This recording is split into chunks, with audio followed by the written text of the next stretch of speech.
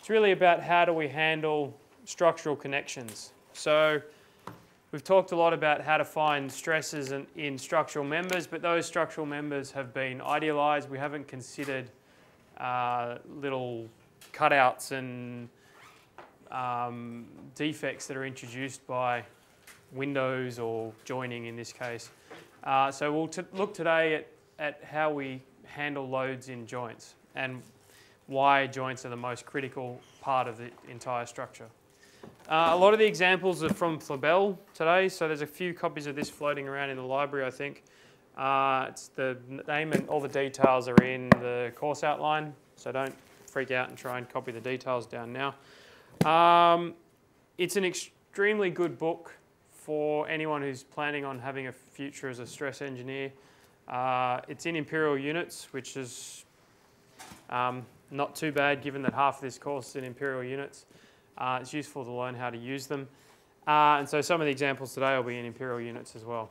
But I have um, stolen a few of the images from this book um, under fair, fair use provisions, but to give Flabelli's credit, I think you should go and buy, buy a copy of this book if you're interested. So um, we'll get started.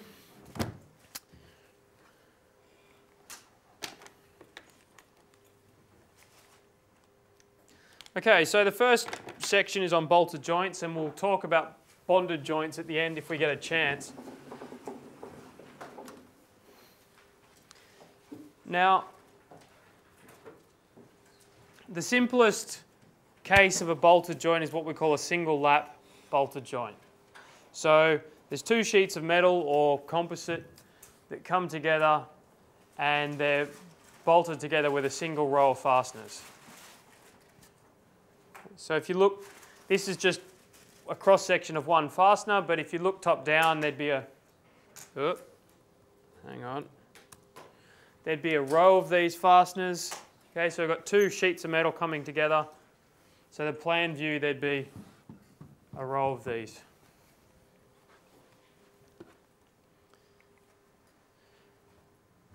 Now single lap bolted joints are not particularly efficient.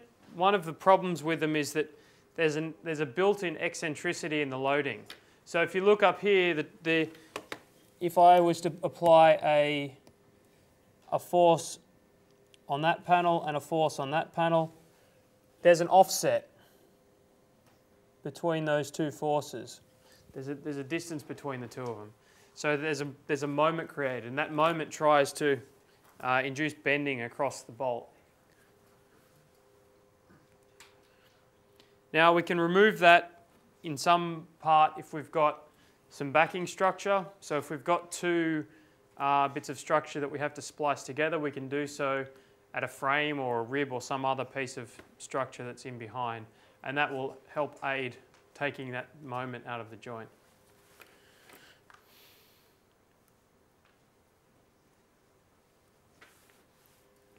The next most complicated joint we can consider is what we call a double lap bolted joint. And we don't bolt two bits of structure together uh, together. We, we use what we call a doubler plate and or two doubler plates. And the primary structure maintains a straight load path.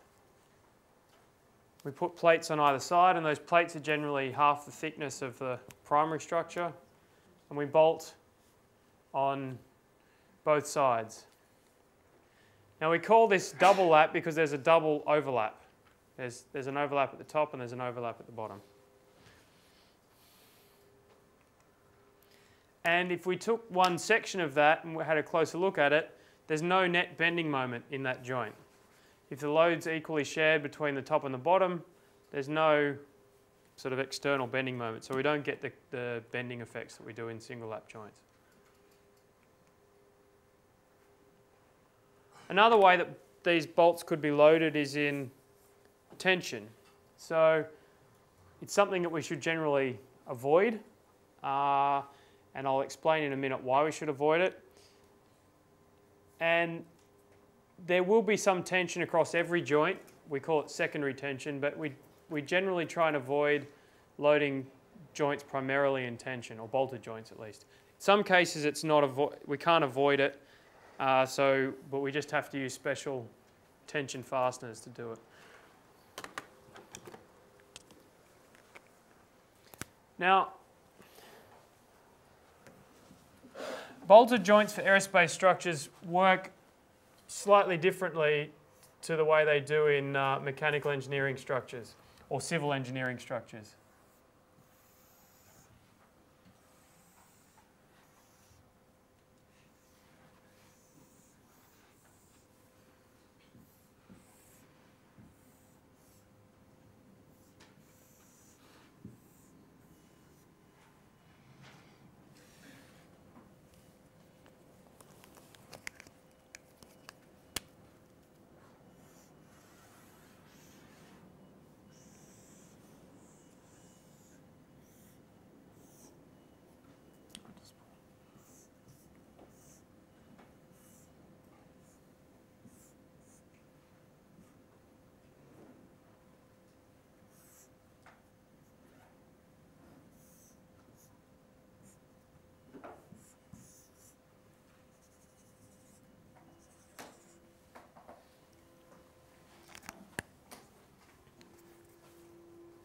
In uh, a mechanical engineering structure, generally when we put a bolt in, the bolt often has a rolled thread.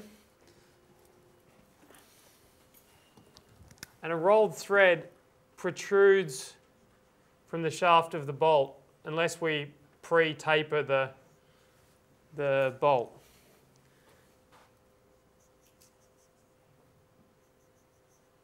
And what that means is that the hole that we drill has to be bigger than the shank of the bolt because otherwise the threads won't fit through.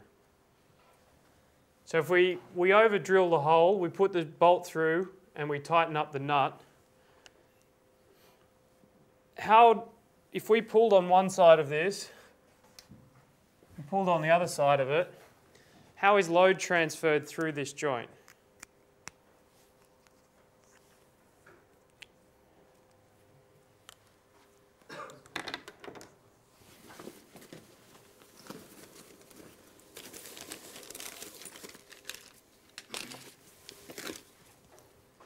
Well, primarily, load is transferred via friction. So what happens is when we tighten this up, we actually push down on the top and we push up on the bottom and we clamp the two bits of material together. So there's sort of a compressive load introduced in a conical region underneath the, underneath the bolt head and the bolt tail. And we create a friction, for, friction stresses in here. So the load comes in, transfers through friction and out the other side. Now, the problem with that is that it relies on the bolt being under tension constantly, and if the bolt becomes a little bit loose, then its load carrying ability drops pretty quickly. And it's not as efficient as it could be. That friction, the friction stresses there are, are not as strong as if we loaded material primarily.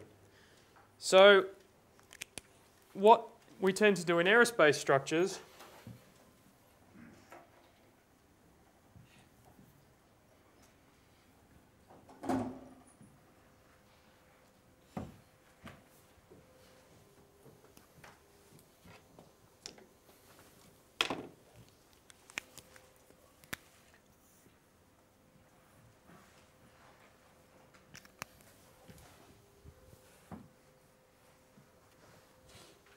In aerospace structures, even though the threads are, might be rolled, they pre-taper the bolt. So the bolt, before it's rolled, the thread is rolled, looks like this.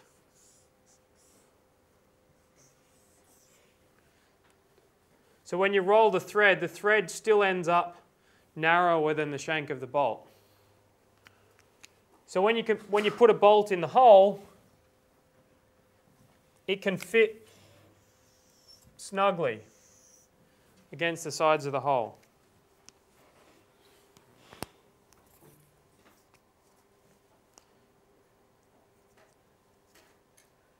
So now we can have load transfer that doesn't rely on friction, although we still use friction a little bit to give us some bonus load carrying capacity. When we pull on the left now, this bit of material over here pushes on the shank of the bolt. Okay, so that whole bit of material is being pulled to the left. And likewise, when we're pulling on the right, that pushes on the shank of the bolt. So the load is transferred as shear stresses through the fastener itself. The fastener is actually carrying load rather than friction carrying load.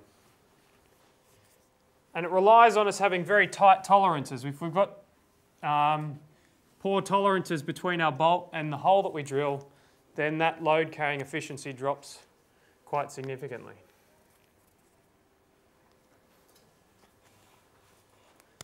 Now, one of the benefits of this is that it doesn't induce, we don't need as much tension because we're not relying on friction to carry the loads.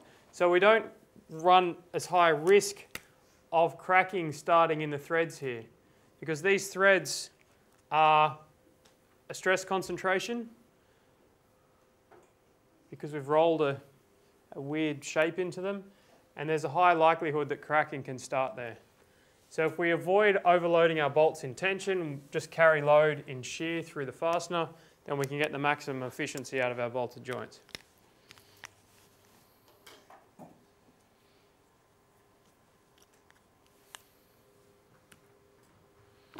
Okay, so we'll talk in a, in a little bit about how to uh, calculate some of the strengths of joints, but I just want to introduce the parameters that we'll use in our discussion.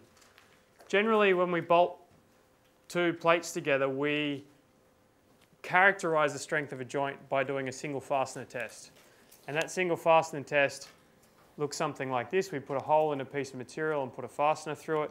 But the, the dimensions we use to characterize that are the diameter of the hole, the width of the plate, and the width is also equal to the stiffener pitch, uh, the fastener pitch. So if we had imagined a whole row of joints,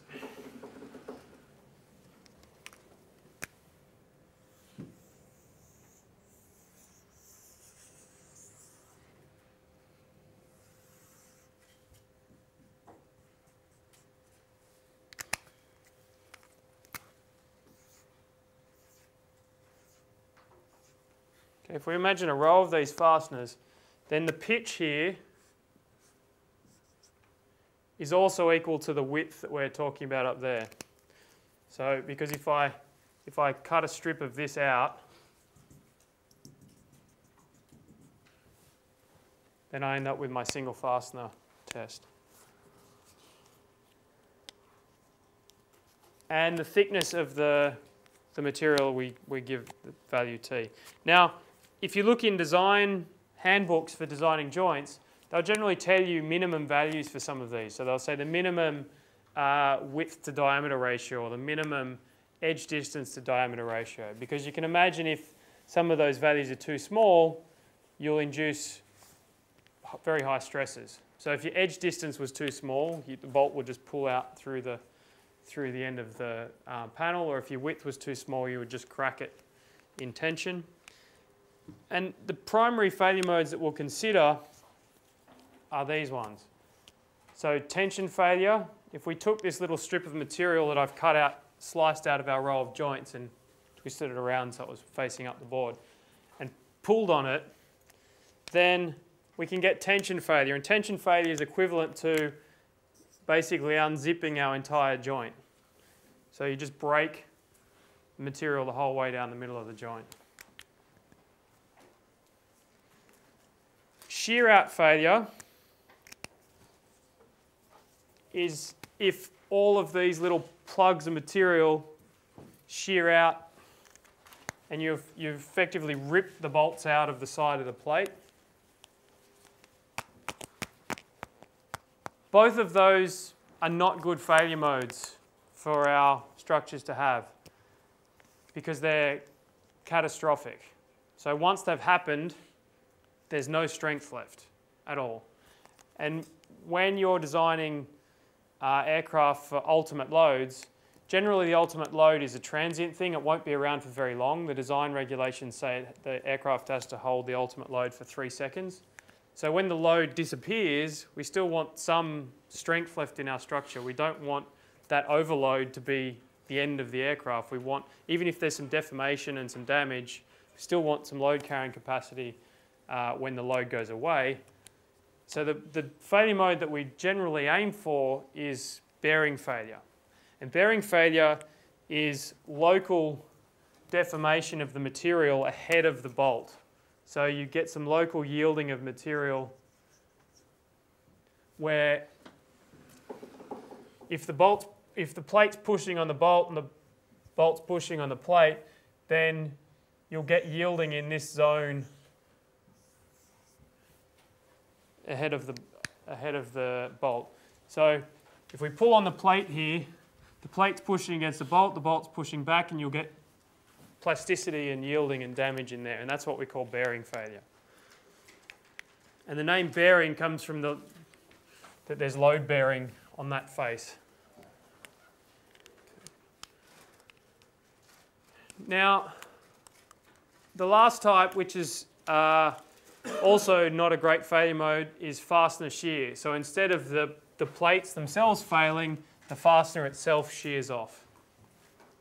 And there's some other failure modes as well, but they're harder to analyse, so I've left them out of the notes for today. But if you're interested in this area, you can, you can look up more detail on, on fastener failure.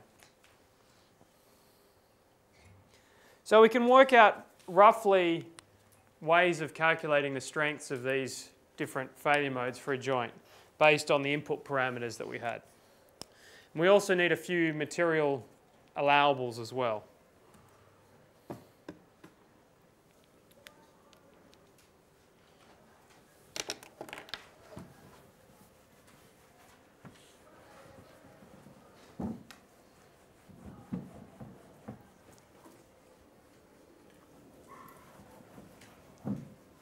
So the diagrams on the next couple of slides, I've taken a, a free body diagram where I've considered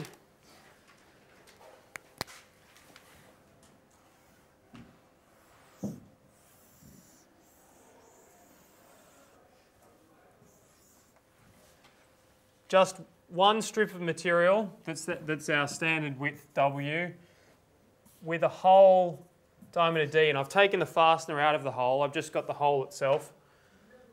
And the third dimension has got the thickness as before.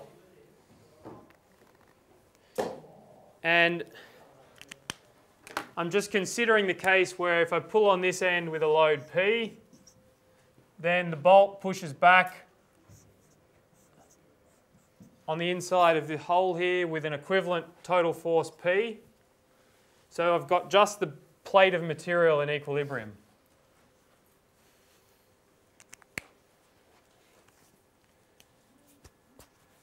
Now, the ultimate net tension failure strength is reasonably easy to find because if I take a free body diagram of just this piece here,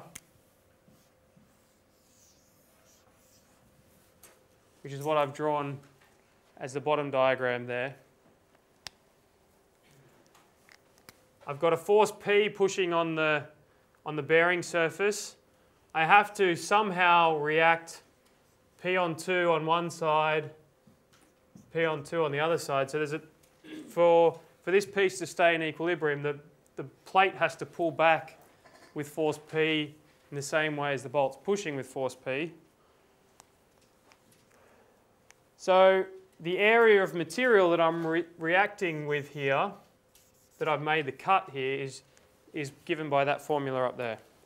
So it's the area left over is the width of the plate minus the diameter of the hole times the thickness of the, the plate. So this is the, the area of this cut surface here.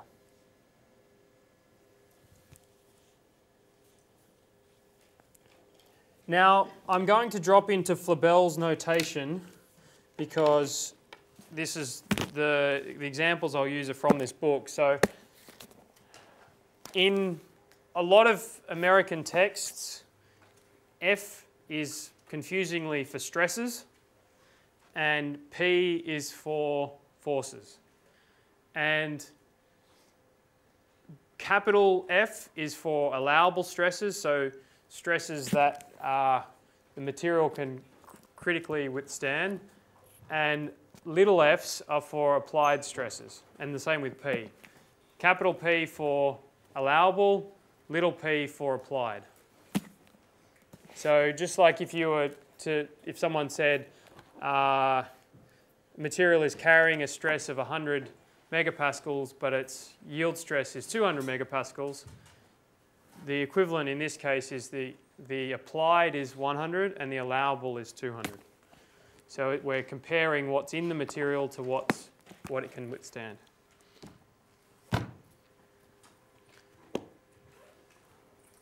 Okay, so the allowable force that this joint can carry in net tension for, to avoid net tension failure is given simply by a material allowable, so the net tension ultimate strength of the material. This is something we can look up in a material data sheet, times the area of material that's withstanding the load.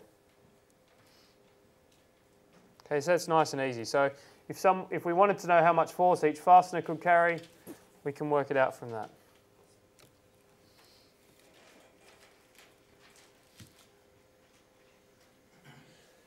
Now, shear out failure is a little bit trickier. But with shear out, we assume that the bolt shears out of the plate equally, or there's no uh, there's no eccentricity to it.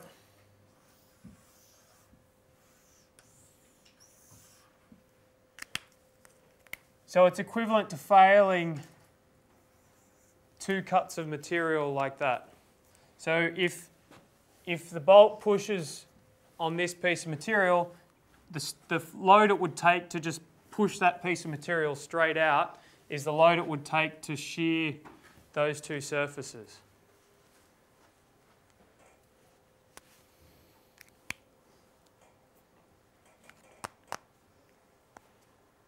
And the way that we can measure that, if we give this a length L and the plate has a thickness T, then the force that's carried by one of these cuts is length times thickness times the ultimate shear stress of the material. So that's what the FSU stands for allowable because it's capital F. S for shear, and U for ultimate. And because we have two of the cuts we have to make, we can say that the force is twice that.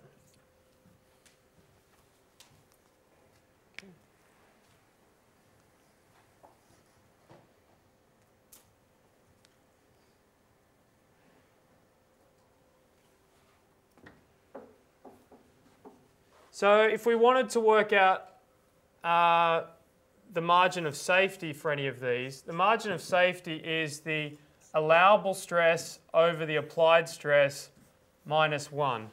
And occasionally there's another factor in there. So in this case, it's the allowable shear ultimate stress over the applied shear stress minus 1. And in the same way on this previous slide,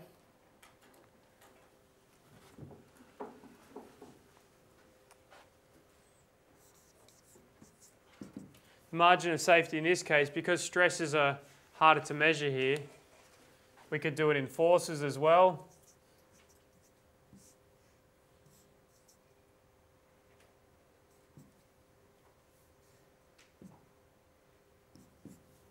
Okay, capital P for allowable tension ultimate force over the applied tension force minus 1. Now, margin of safety is like a safety factor, but if it's greater than zero, the structure is not going to fail. If it's less than zero, the structure is going to fail.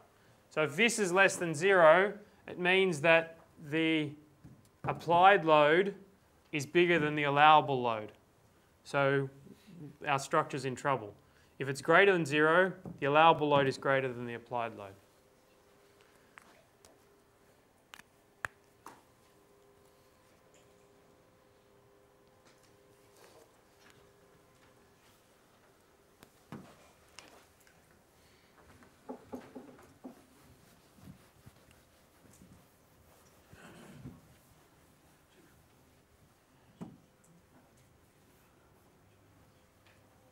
Now for bearing, we introduce a new material allowable, which is one you wouldn't have seen before.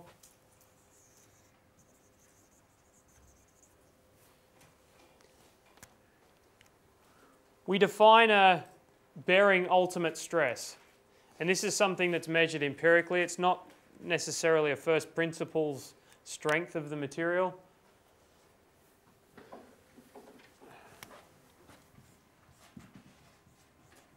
And it's written in Flabella's as F um, BRU, bearing ultimate.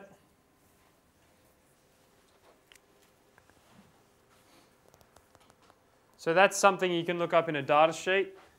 And the way to get from a stress to a force is it's normalized by the projected area that the bolt is pushing on.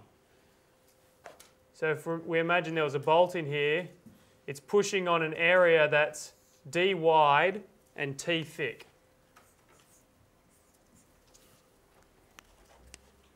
Okay, because this goes in and out of the board T and it's D wide.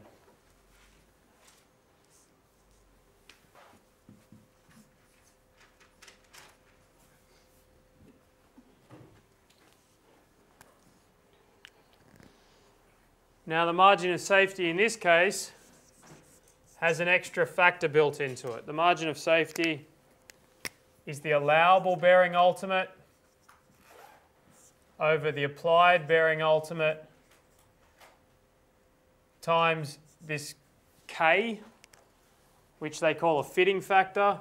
And what the K accounts for is that the hole can never be exactly the same size as the fastener that's, applied, that's put in there. There's always got to be some clearance in there. So you're allowed some extra tolerance. So it means that the applied force can't be quite as high as it could be if it was a perfect joint.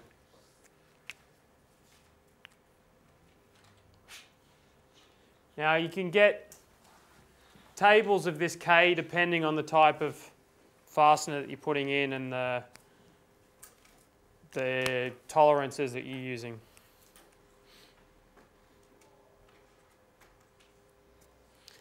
Now the last one of our failure modes that we'll use in a minute is uh, fastener shear failure.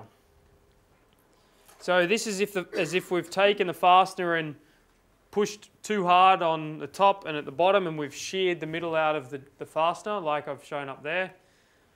And the area that we're shearing is pi d squared on 4.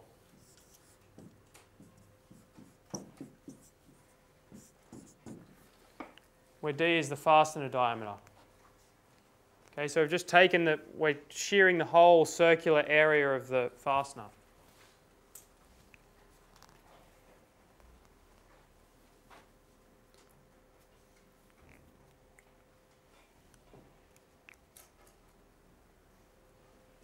So to get to a force, and I, the force will be a shear ultimate in this case, we have a shear ultimate strength for the material times the area that we're shearing. And there's another correction factor which is written here as CR. This is for thin plates, and again, this is an empirical factor. People have tested a lot of plates and worked out that the formula doesn't work perfectly, and have just applied a little fudge to it to make sure it works for, for thin structures.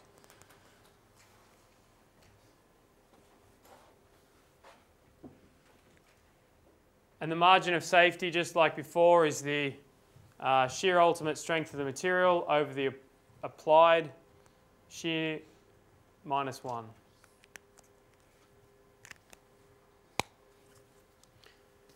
Okay, so armed now with an understanding of how our joints are going to fail, we can start looking at some different structural applications of these joints and see if we can work out how strong they are.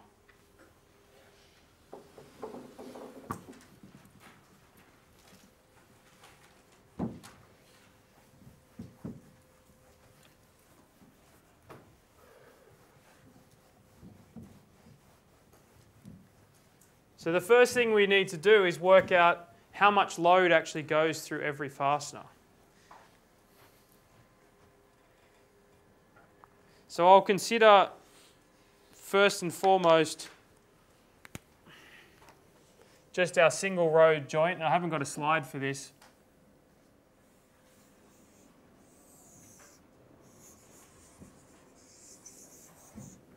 Okay, so I'm only going to show one half of it.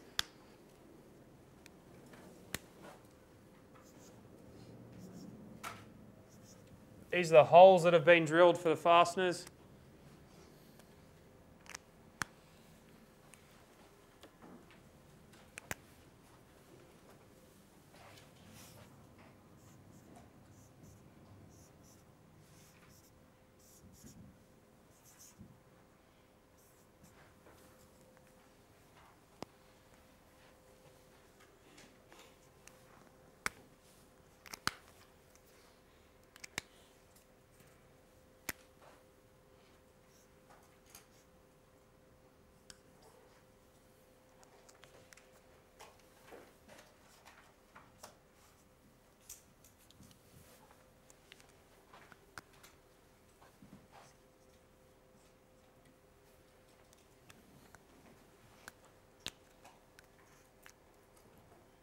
So we've just got a regular single lap joint.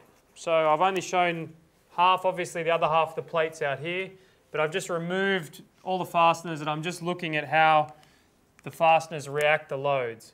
So in each one of these holes, the bolts are pushing back on the plate.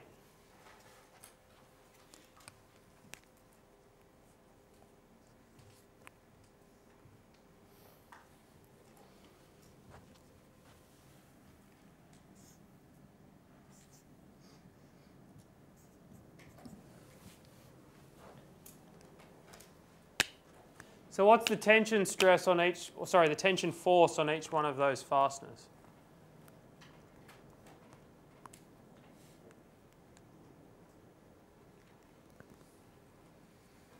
And remember, this is a repeating system. These are all W apart.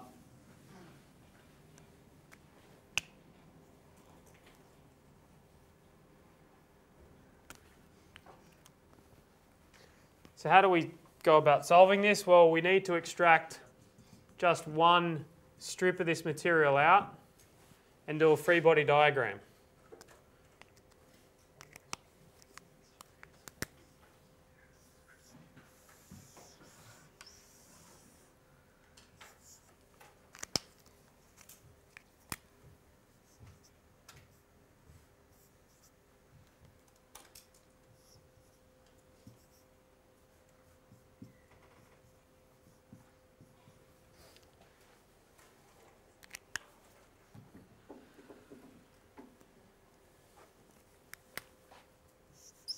Sum of forces equals 0.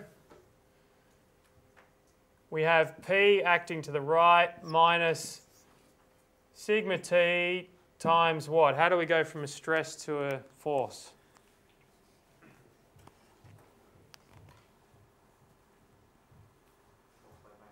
Yeah, so what area is this is that stress acting over? W. And what's the other dimension?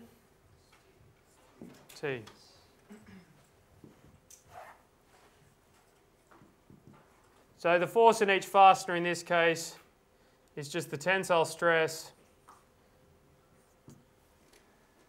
times the stiffener pitch, which I've called W here, but it's written as different things in different places, but that's the spacing between stiffeners, times the thickness.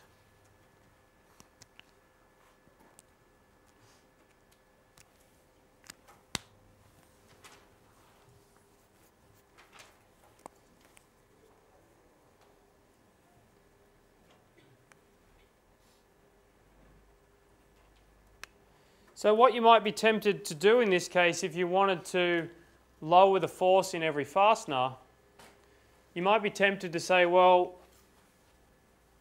we want to carry the maximum amount of stress that we can.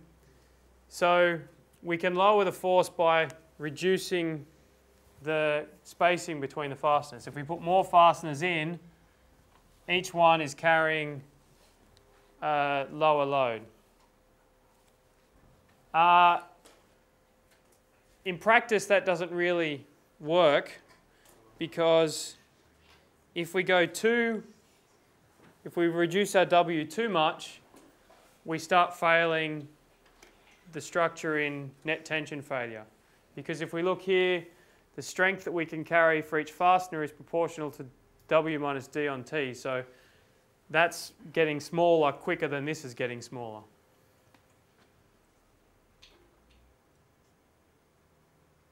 On the flip side, if we wanted to avoid this failure, we could do so by spreading our um, fasteners further apart. But if we spread our fasteners further apart, eventually one of these two failure modes is going to kick in. Sorry, we're either going to get the fasteners shearing or we're going to get bearing failure. So really what we're trying to do is find the point at which the failure modes are all happening at there and thereabouts the same load. We want bearing failure to happen first because it's the non-catastrophic one. But we don't want the fasteners so far apart that, uh, that each fastener is overloaded, but we don't want them too close so that we get net tension failure. So the aim of designing a sensible joint is to work out that spacing so that we get a reasonable uh, performance from our joint. Now that's a very, very simple case and in most uh, joint applications we won't ever get something as simple as that. So I'll go into some more uh, complex applications of joints and I'll, I'll start simply first with what I call clip supports or what Flabel calls clip supports.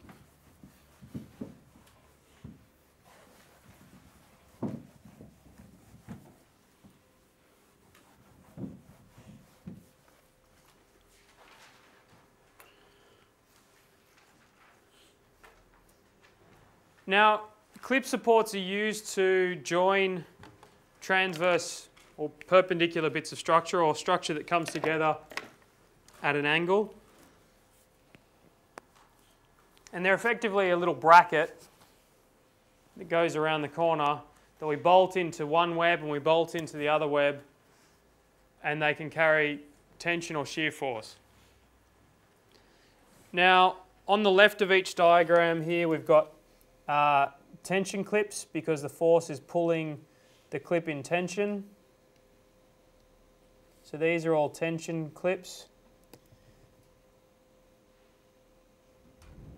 And on the right we've got shear clips because they're carrying shear forces. And in general, shear clips are much stronger than tension clips because if we look closely in those tension clip cases, some of the fasteners are all going to be loaded in tension. We can't, in the shear clips, you don't have to load any fasteners in tension. We can have different geometry for them, which is what the three sets of pictures are. We have a single-sided case, a double-sided case, or a, an extruded case where we've actually got a T-bracket. Uh, and there's benefits to each, which we'll see as we go along.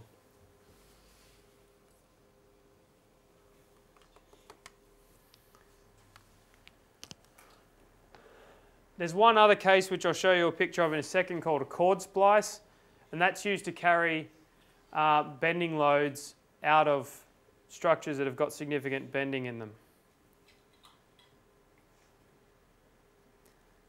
As I said, shear clips are far more efficient than tension clips, and tension clips should be avoided if possible. We can't always avoid them, and we'll talk about cases where we can't avoid them in a minute.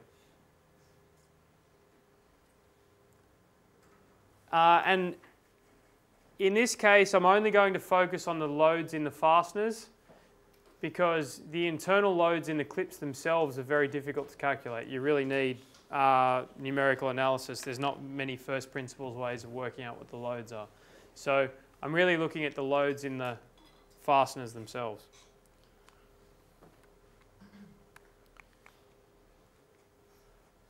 So this is a uh, how we would join, say, a structure that had tension, shear, and bending to another web that's traveling uh, across the board in here, or another C-beam that's traveling in this, this place here. Now, we have chord splices on the top and the bottom, and we have a shear and tension clip in the middle, or a shear clip in the middle.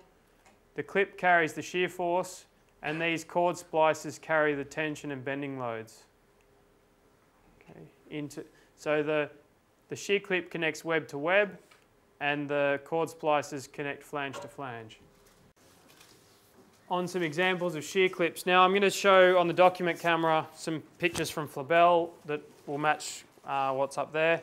I just checked on Amazon and Flabel's about 70 bucks new. Um, so if you do want a copy of it, I suggest going. It's not, it's not the cheapest book, but it's also not the most expensive book. So, um, and it will be very useful for structures in your design projects, both in third year design and uh, fourth year design. Okay, so to introduce the shear clip calculation, I'm going to use a, a, an example from Flabel. And basically, we're going to have a, some kind of intercostal beam. Here, what, what Flabel's called a transverse beam. Connected to the closure beam. So basically two bits of two bits of transverse structure. Now, the thing that connects them is our shear clip in here. And we're, what we're going to try and do is work out the loads in those fasteners in that shear clip. And the force that we're going to apply is, is a shear force that will load, that will put shear through our fasteners. Now we could equally, as well as having a single-sided clip like we've got here, see it's only on one side of the, of the structure, we could equally have a double-sided clip as is shown here, or an extruded clip as, as I've shown here. Okay, so this is, we'll just do a single-sided one, but then we'll do a, a double-sided and a, a extruded version of the same calculation as well.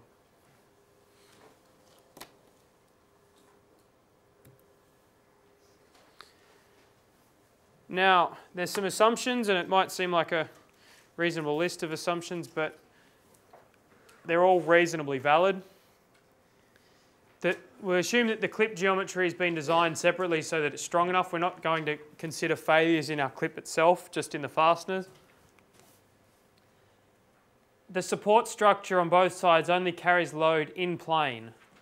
Okay, so that means remember thin-walled structures carry load in plane, they don't carry load transverse. So we don't have to consider the fasteners pulling uh, on the web of the structure, it's just the loads that are pushing up and down in the plane.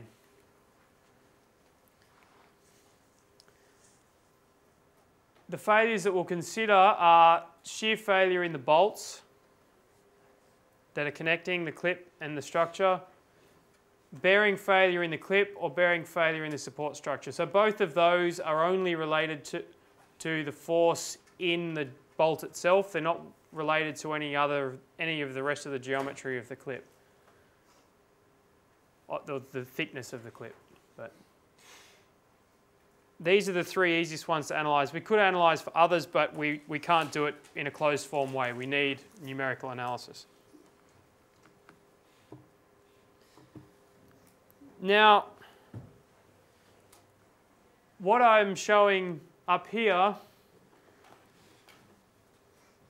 is this case where I'm just showing the end of the I'm showing the end here as if we're looking in along this beam here. Okay, so I've just taken a section in the vicinity of A here and I'm showing it up on the, on the slides.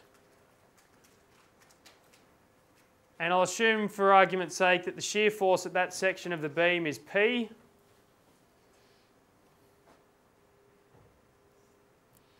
And our free body diagram has got a section of the beam.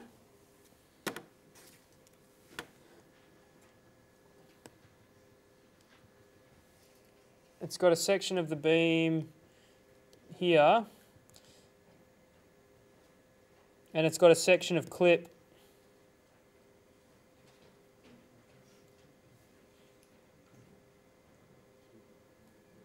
Well, this is this is the clip geometry, which is not showing up for some reason. Anyway, so this is the this is the clip in here.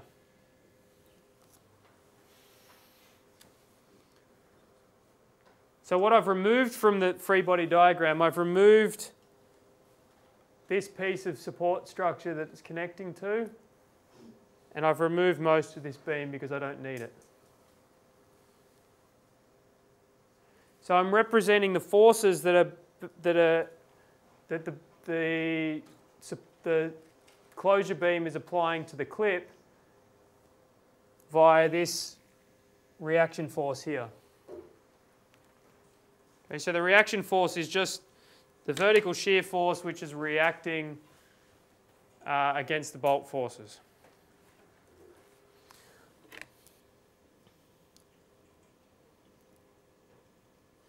Okay, so if I take equilibrium of my entire free body diagram up there, then it's very simple that that R1 is equal to P. So the sum of forces in the vertical direction equals zero. So the reaction force from the closure beam is equal to the shear force in the transverse beam.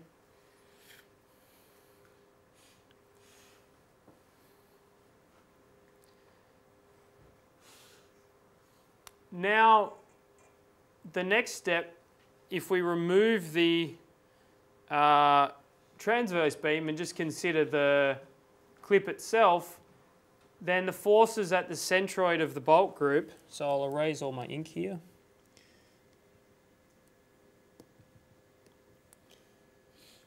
If in the next case we get rid of the uh, transverse beam, see if I can find the picture of it. That's exactly the same picture.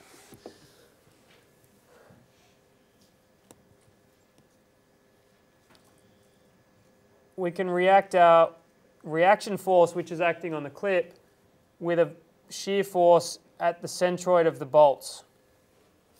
Okay. And we can equate again that V equals R1, which equals the shear force that's applied to the transverse beam. And we also get a moment because if we've got the clip just sitting in space like this, hang on, that's terribly drawn.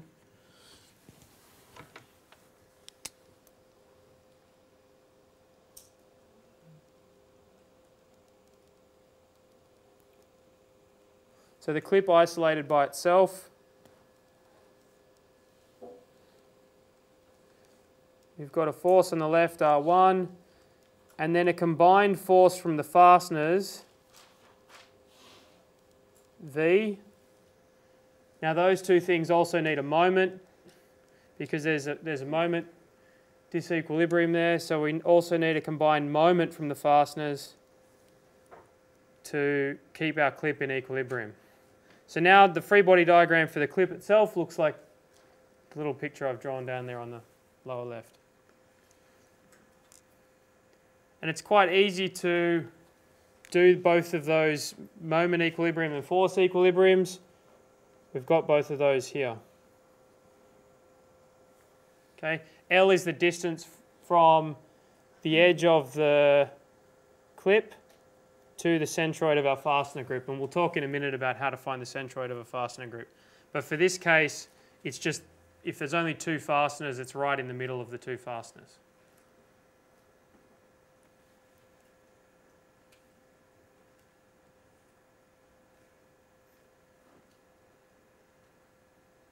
So how do we split the forces between the two fasteners?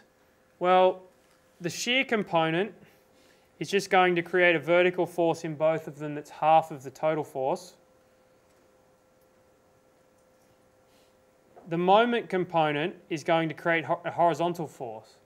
So if we think, if we look at our little moment picture here, we've got a moment acting. If I draw my clip again,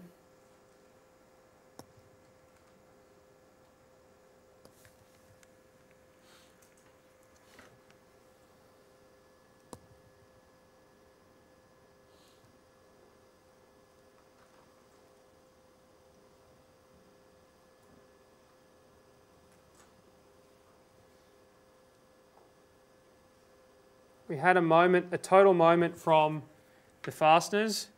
We could easily replace that by, sorry, I've just lost my screen again.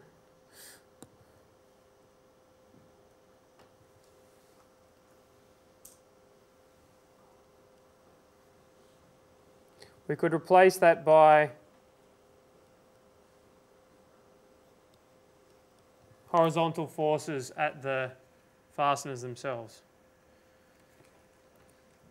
So that's what we do here. Those horizontal forces are equal to the moment over the distance between the two fasteners. Now this little comment down the bottom says that if we've got more than two fasteners then we need some cleverer techniques and those other techniques we'll deal with at the end of the the lecture, but if we've got more than two fasteners on, on each side, we need to use a bolt group. And the bolt group calculation is a separate calculation, but two fasteners, it's very easy.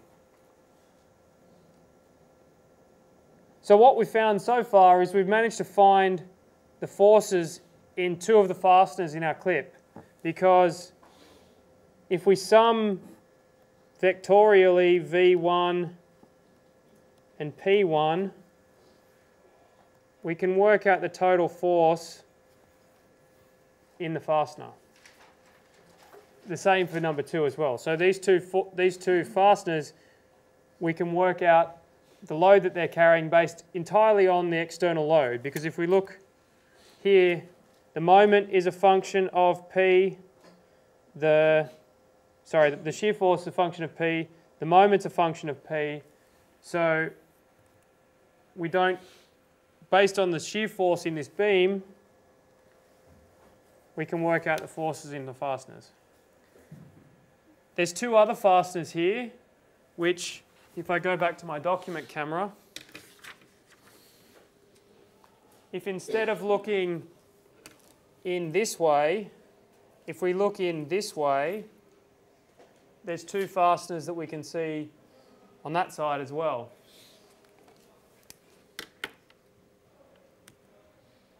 And the free body diagram for that would look like what we've got here. And it's exactly the same calculation. So the forces, the vertical forces are half the total shear force. The horizontal forces are the moment over the distance between the two. And it's exactly the same calculation. The only thing that changes is that this moment, which equals P L over H. L and H are not unique. L and H are dependent on the actual geometry of each, of each case. So H is the distance between the fasteners and L is the distance from the edge of the clip.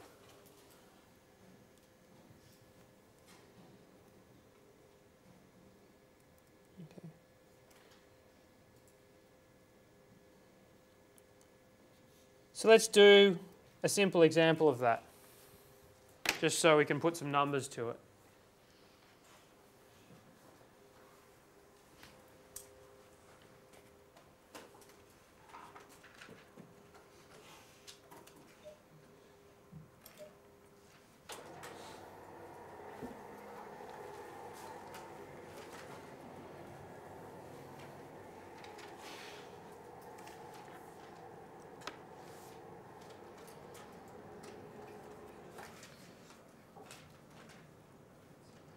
So we'll consider exactly the same structure and the internal shear force P we'll assume is 100 pounds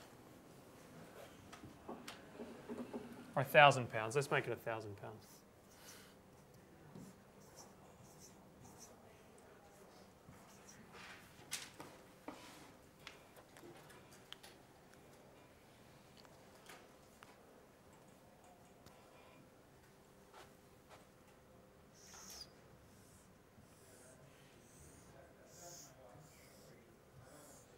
Now we'll simplify our clip as just a folded piece of metal.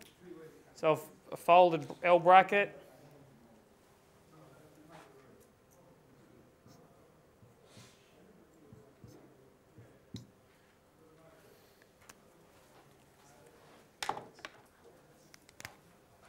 With fasteners one, two, three, and four.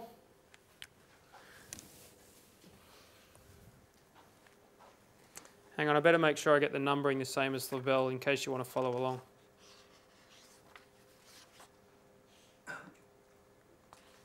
Sorry, he's numbered them the other way.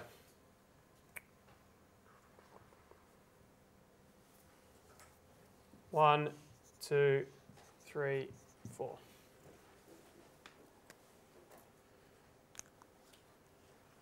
Okay, and on this side is the transverse beam, and on this side is the closure beam. Okay, but that doesn't really matter too much.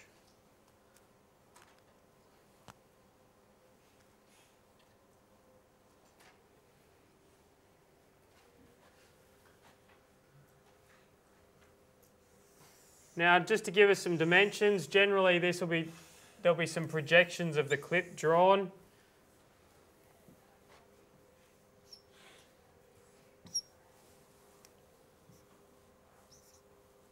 Fasteners one and two. And we'll say that distance there is one inch. That distance there is two inches.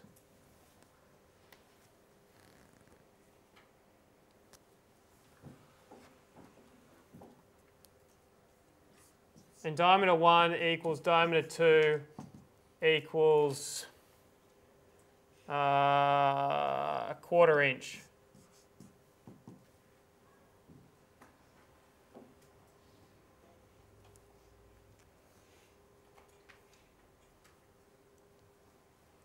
Okay. Now, I'll draw the other projection. So this is This is the view from A.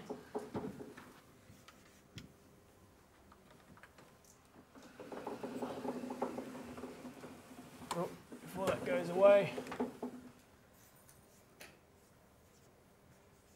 I'll draw the view from B down here.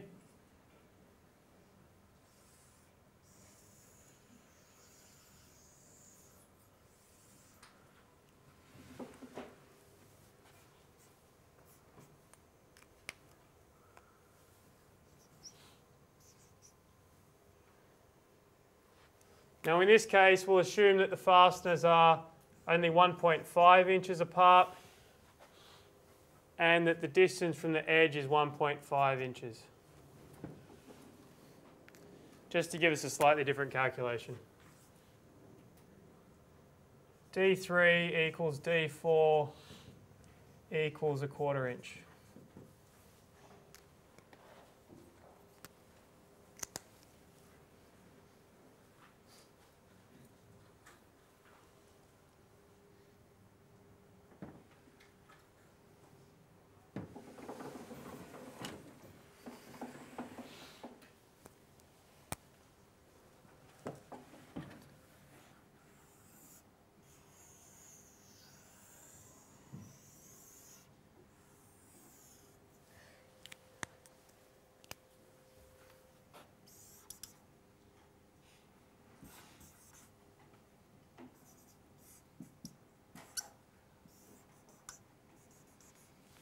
Now, the centroid of the fasteners, because their diameters are the same, the centroid of the fasteners is just directly between the two of them. So we don't need to worry about any complex calculations to work out where the middle of the fasteners is.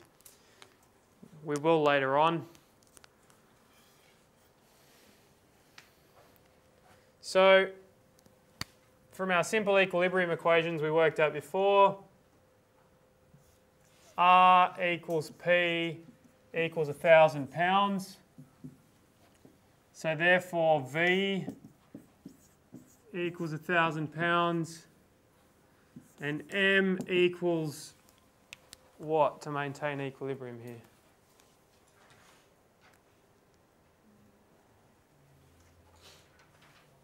It's 1,000 times the distance up there, which is one inch. 1,000 inch pounds.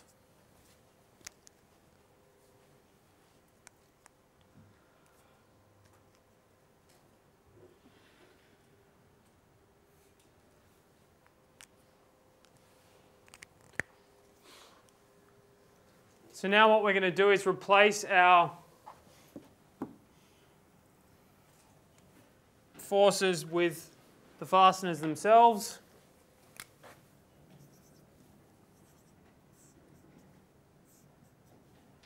V1, V2, P1, P2.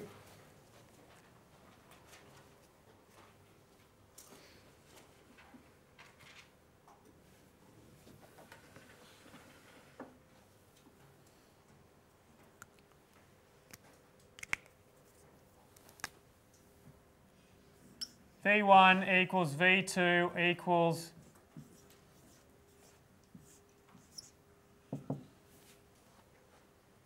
a thousand on two, so 500 pounds.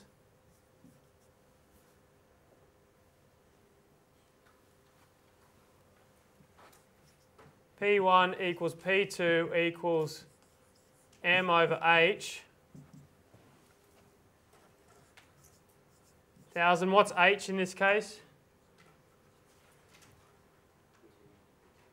Two. Okay, so just by chance, that's also 500 pounds. That's only because the distance here was two.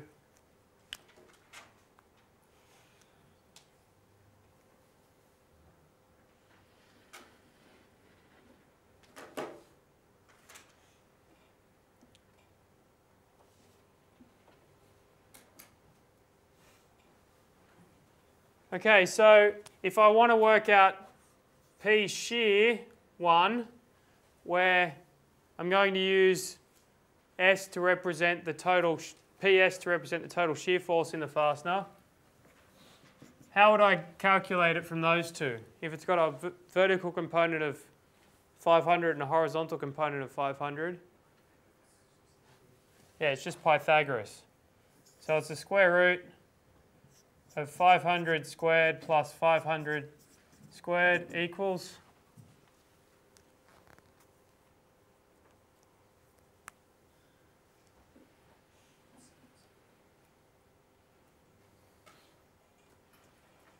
root 2 times 500 should be about 707 pounds.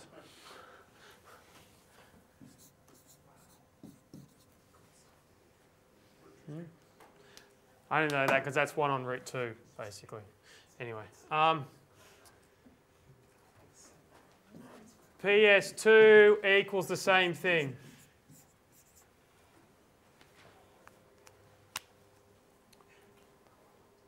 Okay, so if we just wanted to just update our free body diagram just to show what it looks like in the end.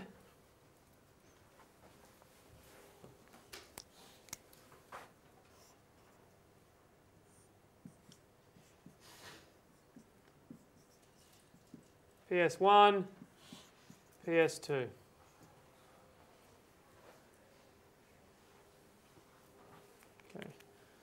And that clip will now be in equilibrium.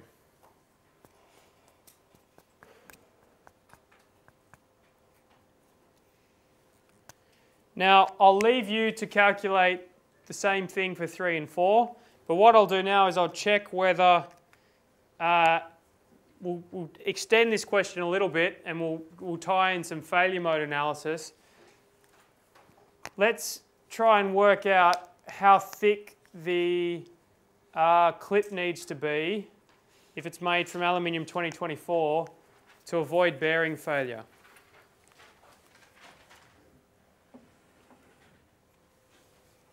Okay, so we have a folded folded AL 2024 T4 sheet.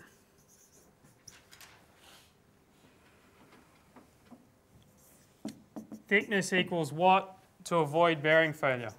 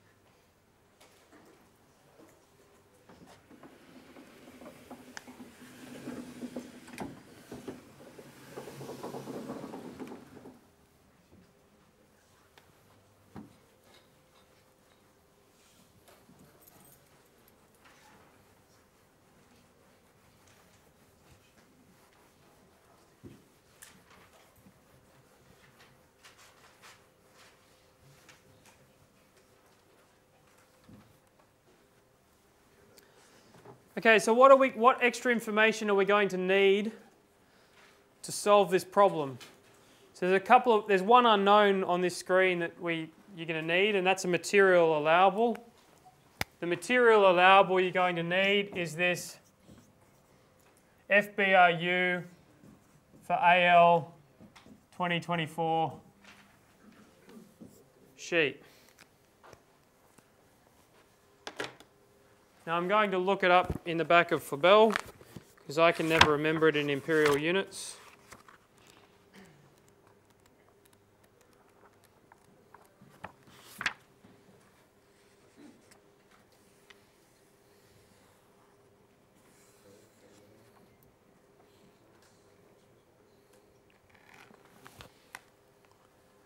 Okay, it varies slightly for flat sheet or for coiled sheet, but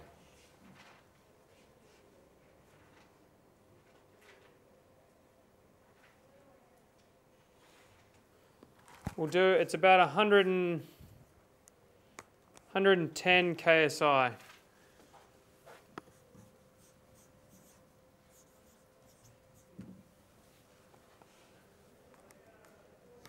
Okay, it varies around a little bit, but it's close enough.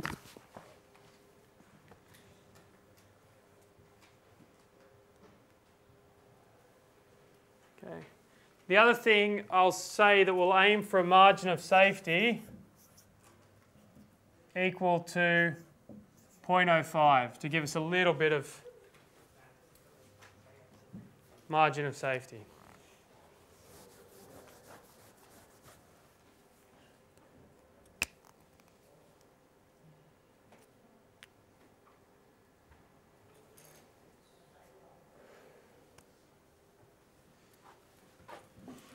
So, margin of safety equals PBRU, which I'll sub in the formula, FBRU TD over P shear. So we've just calculated P shear for the fasteners.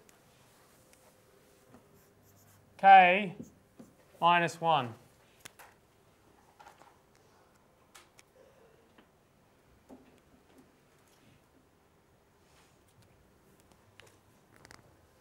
So if we rearrange that, margin of safety plus 1 times PS times K all over FBRU D is this thickness that we're trying to find. Okay? So obviously the thicker the plate, the more force we can carry on the top, so the bigger our margin of safety is going to be.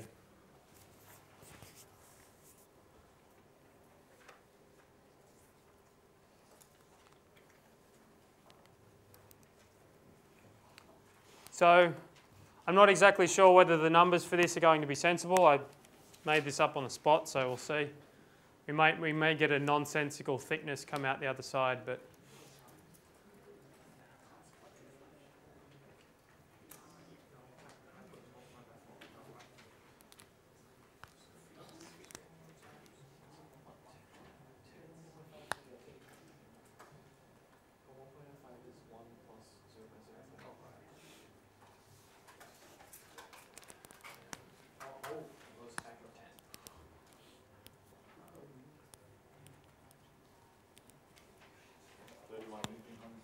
Hmm?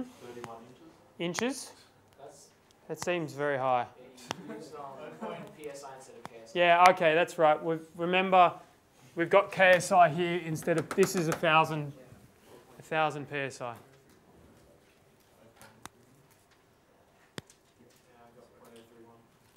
Yep, so are just out by a factor of a thousand. 0.03. Okay, so that's very thin. That's that's really beyond, that's lower than you would normally use for aircraft structure. So in, in this case, we, will, uh, we had a little bit more capacity to carry load than the load that I applied at the beginning. Okay, so sheets, typical sheet thicknesses are 0.05, 0.08, Okay, sheets like that kind of thickness. So we're on the thinner side of those. But you can, I mean, you can get thinner. You can get coiled sheet down to 0.01. So, but it's unlikely that we would make a bit of structure out of that.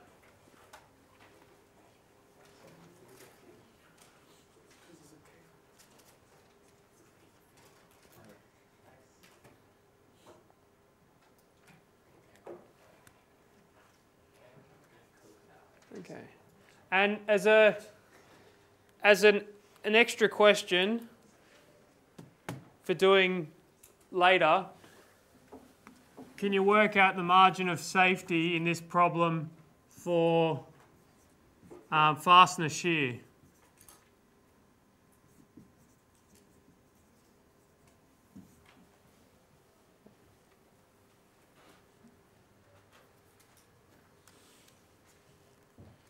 So you know the diameter of the fastener. The FSU that I, will give you now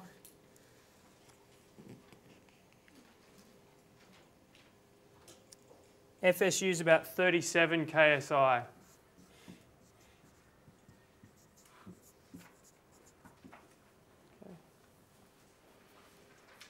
And, and CR, just for the sake of this calculation, assume it's 1. Don't worry about any additional factors.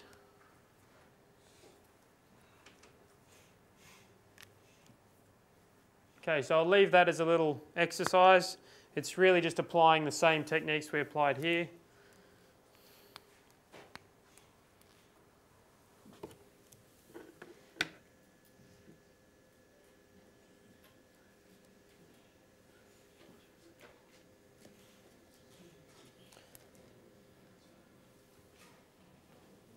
Okay, so this is an exploded view of the problem we've just solved with some slightly more general uh, numbers on it.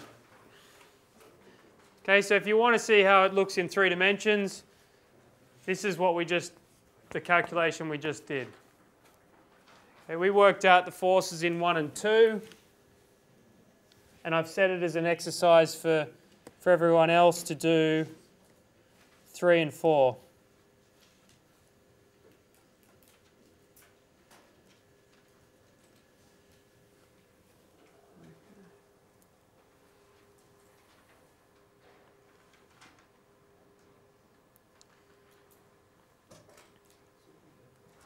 Flabel also goes on to analyse the problem assuming that we've got a double-sided clip and then assuming that we've got uh, an extruded clip.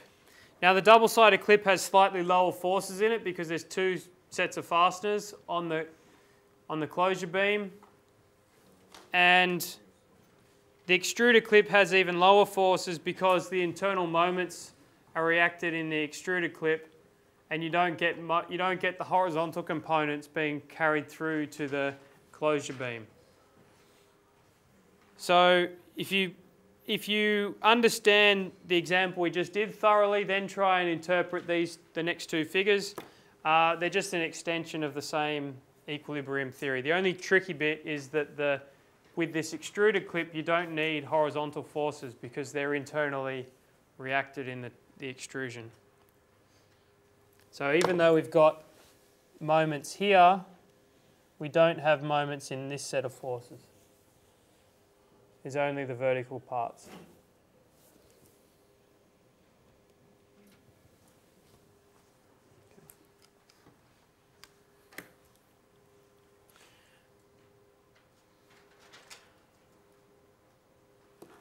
Okay, so we'll quickly look at tension clips.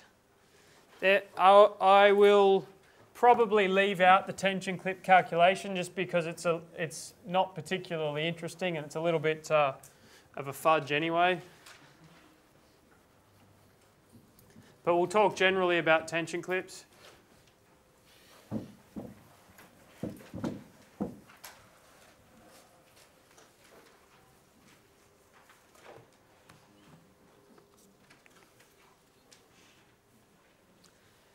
There's two primary reasons that we'll use a tension clip. One of them is to carry loads from a stiffening member to another stiffening member through a bulkhead or something that we can't break. And another application is to carry pressure loads into a bulkhead or into a rib or a frame. And I'll draw some examples of those two things. We can have single clips where we've just got a single uh, bracket, or we can have a continuous clip, which is like a con continuous folded piece of um, spar cap or something along those lines, or rib cap.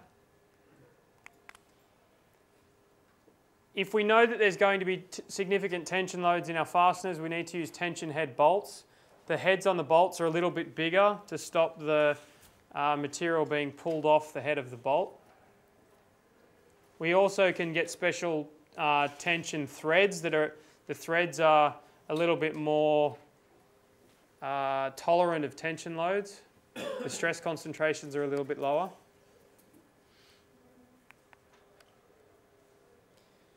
And failure is either assumed to be the prying failure of the bolt, so the bolt just breaks due to what we call prying failure, get, it gets snapped in half, or bending failure in the clip. And neither of those two cases I'll do a calculation for, but I'll show you how the process would work.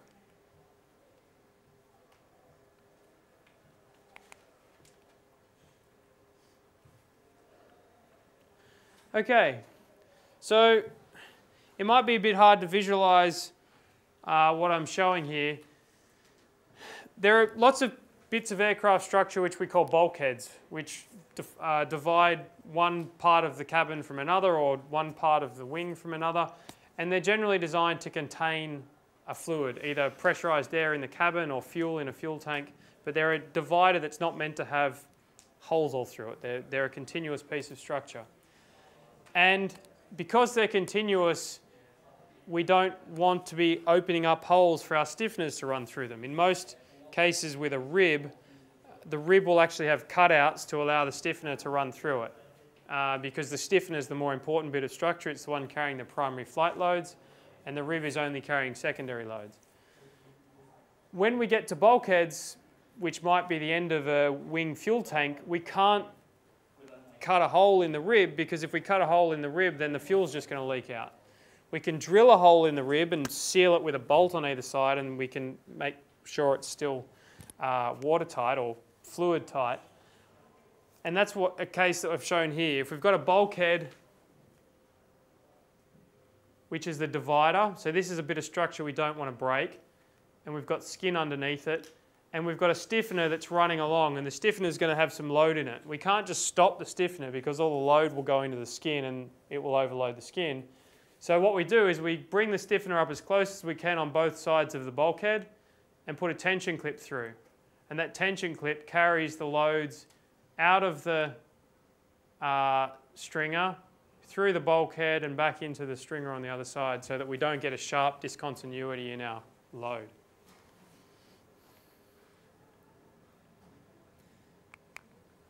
Another use is if we've got pressure forces, so aerodynamic pressures or uh, fuselage internal pressurization.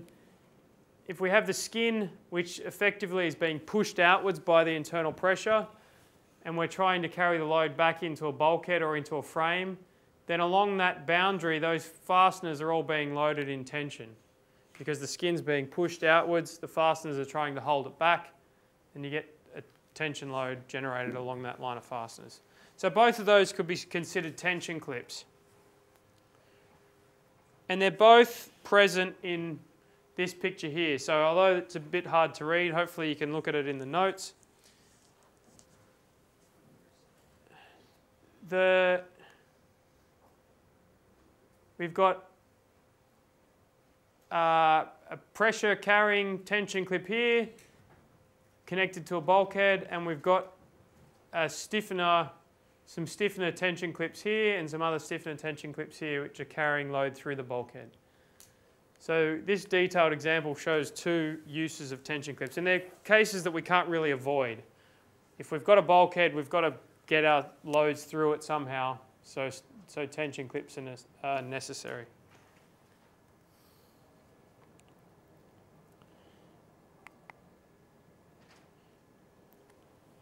Now, a simple way to analyse the forces in one of these is if we know the, the force that's applied in tension, the way that they generally fail is through what's called prying failure.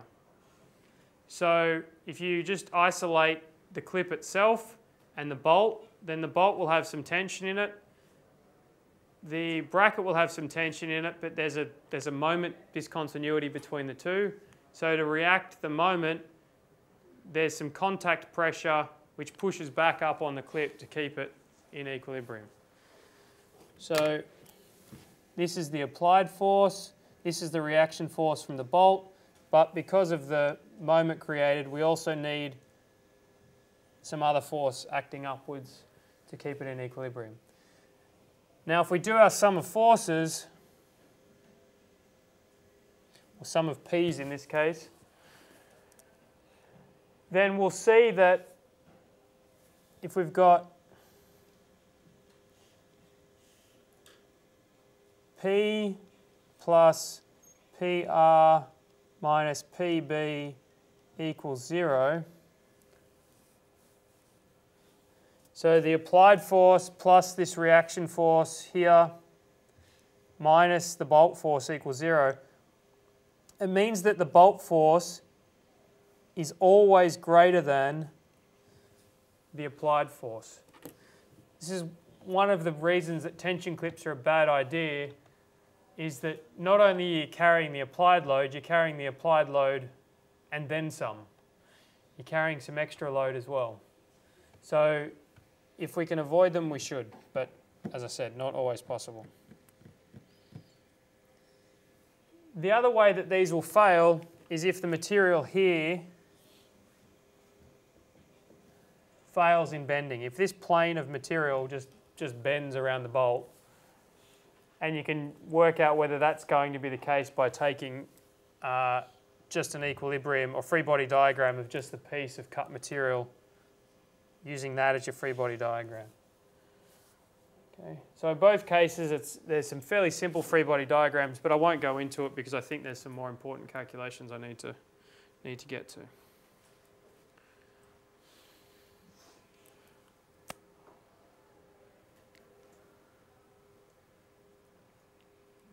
Okay.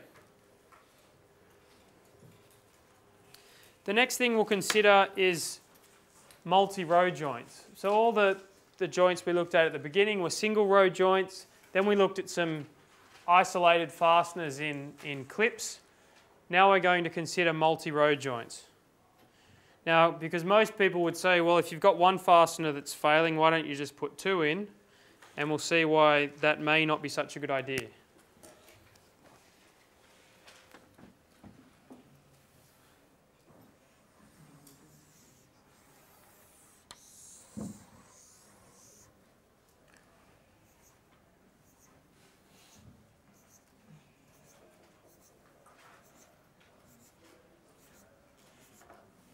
Okay.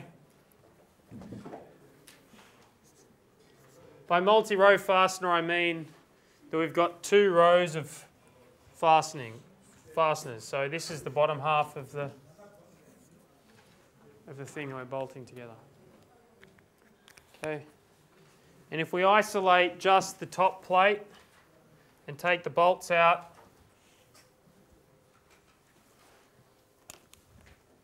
then whatever tension stress is acting on this side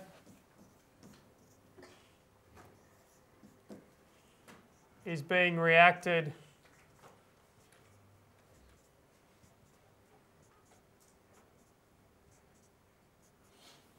by the fasteners like that. Okay, all the fasteners are pushing back on the plate. So you should immediately say, well, this can carry twice as much force as our single row joint, or can it? Well, it's, it's a tough question to answer. What we have to do is because we, we now don't have a static equilibrium anymore, we've got to work out how the forces in these fasteners are actually shared.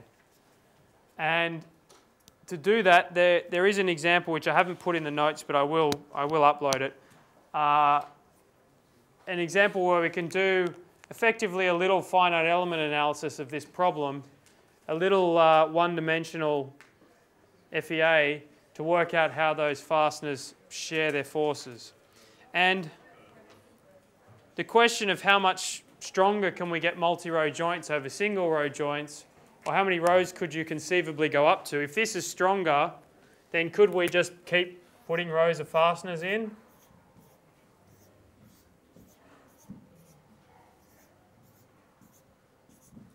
Why wouldn't our aircraft just be all fasteners? Why can't we just bolt big sheets of material together to make sure it's strong enough? Well, hmm? Yeah, could. well, the answer is that it's complicated. Uh, it's not an easy thing to say where the best number of rows to go to is. In practice, you can get some return from a second row of fasteners.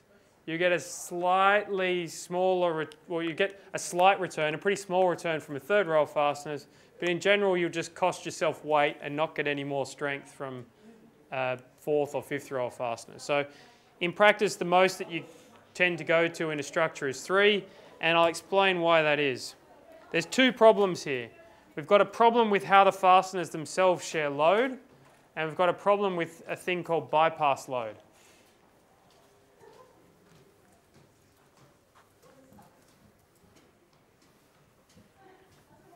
Now, because I've got the, this diagram up, I'll consider bypass load first.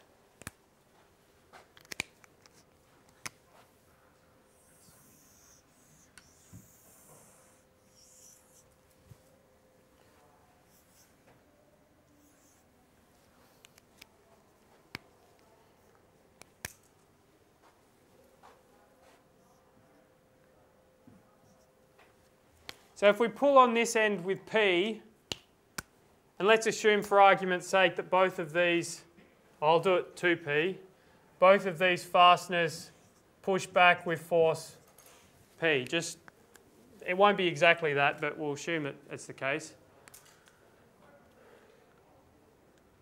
Now we have a problem with what we call bypass load. The force at this plane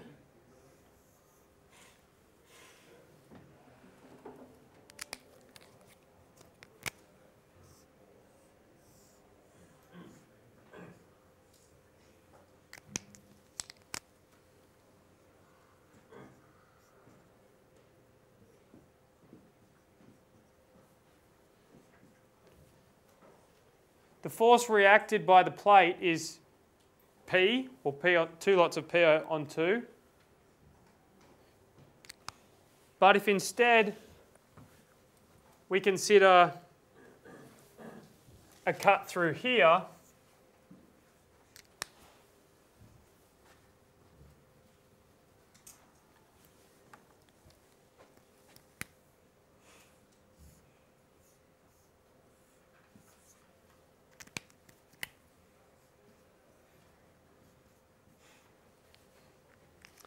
then the total force reacted on that plane is 2p. So the force reacted on this plane is 2p, force reacted on this plane is p. So if we think about how, how if net tension failure is going to occur, we're still limited by the worst case plane. So net tension failure doesn't get any better by putting in multiple rows of fasteners. So you could put 10 rows of fasteners in and it's still going to be limited in the net tension across that plane. So that's what we call bypass load because the load here has to get back around the hole and so it's what we call bypassing the hole. So you can't win any battles with net tension failure by putting more fasteners in. You can win on bearing failure, but you can't win on net tension failure.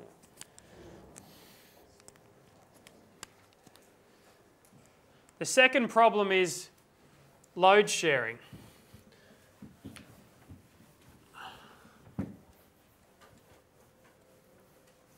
Now if we go back to our little picture here,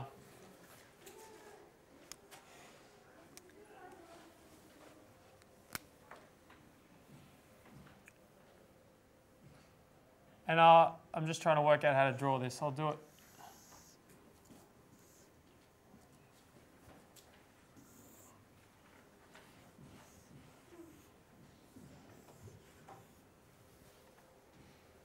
Um,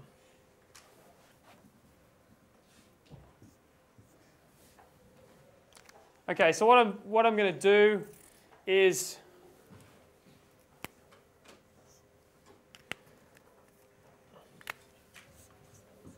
just draw the very, very top plate. So I've drawn this, this plate here isolated. Okay, so I've taken the bolts and everything out, remembering that there is material connected here. We're not just having these floating bits of plate hanging there. Okay, it's just not connected in this plane. Now, if the load was equally shared, the force here would be P on 3, P on 3, and P on 3. And from a bearing failure perspective, we could get away with a third of the thickness that we had before because the, the loads are reduced by a factor of 3. In practice, when we do this, depending on the stiffness of the fasteners and the stiffness of the underlying material, generally the outermost fasteners get loaded significantly more than the middle fasteners. So this one would be more, be closer to P on 2, this one would be closer to 0, and this one would be closer to P on 2. So from a bearing failure perspective, there's not many returns on going above two rows of fasteners. So if you've got two rows of fasteners, they'll share it equally. If you put third or fourth or fifth extra rows in, generally it's still your outer fasteners that'll fail. So there's two reasons that we, we can't just go to an infinite number of rows of fasteners to make our joint stronger and stronger and stronger. The price we always have to pay to make our joints stronger if we want them to be stronger is to increase the thickness. And what does increasing the thickness do? Increases the weight of the aircraft. So the thing that we try to avoid as much as we can, because it's the thing that costs us all the fuel, is increasing this thickness. But to get the, the strength that we need, in some cases, that thickness has to be increased. Look at fastener groups. So we looked at rows of fasteners, we looked at clip supports, we looked at multi-row fasteners. The last permutation, I suppose, is isolated groups of fasteners. If you've got, uh, this is a very complicated set of fasteners here, uh, that, obviously that's some fairly complex structure that I wouldn't ask you to analyse. But there are situations where groups of fasteners get used to get together to carry a load between one member and another. And it's not a row of fasteners necessarily, it's just a group of things to bolt one uh, piece of structure to another, one bracket to another. Now, we need to, when we do these those type of problems, work out the centroid of the fastener group because the centroid of, of the fastener group is where the loads are going to transfer through uh, concentrically and the, the centroid can be found by this calculation here. It's really the air, it's a first moment of area effectively. It's the sum of the area times a position over the sum of the area, but because our fasteners we're assuming are all circles, we can get rid of the pi on 4 and just leave uh, d squared x over sum of d squared, and the same with y, sum of d squared y over sum of d squared. And we'll do uh, an example of it later on, although I've said we'll do the example here, we'll do that in a minute. But it's a fairly simple process to work out the centroid. Now the assumptions we make when we do these kind of calculations are that there's no friction. Friction uh, does, means that our calculations aren't quite right. We're not really worried too much about stress concentration factors because we're only looking at the, the fasteners themselves. Bolts share load based on the weighting of their area within a group. So as I said, where fasteners, we, we need to look at uh, the statically indeterminate problem. In general, it's a reasonable assumption to assume that a fastener with a bigger area will carry more load. So the assumption that we make is that if you've got a bolt, two bolts and they're different sizes, they'll carry load proportional to their area. Any local bending is small, so we're not looking at problems where we've got tension on our bolts, we're only just looking at shear forces in our fasteners. Okay, so the simplest case is what we call concentrically loaded fasteners. So a concentrically loaded problem is where the line of action of the force acts through the centroid of our bolt group. And the load can very easily be determined then.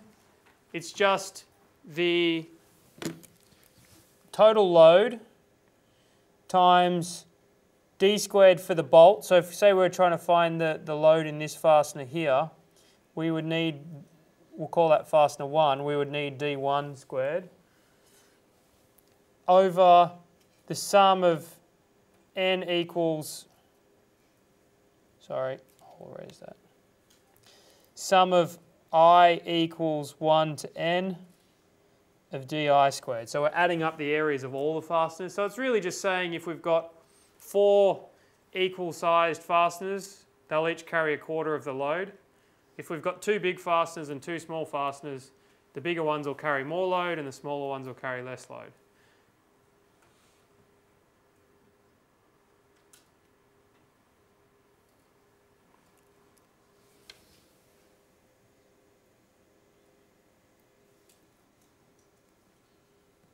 Again, I'll leave the example to this problem in a minute.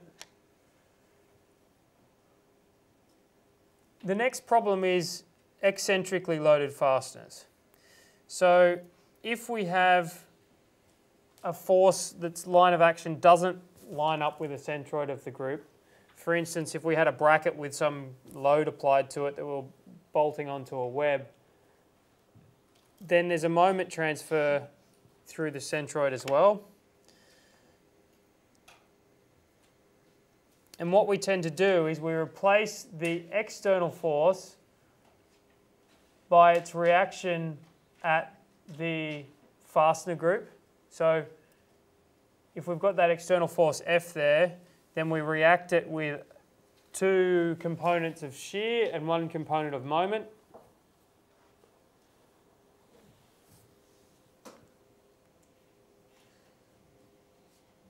We divide the forces, the shear forces e equally among the bolts if the areas are equal, but if they're not equal then we use the concentrically loaded formula. So we use this formula here because the two cases are concentric. We've made them concentric.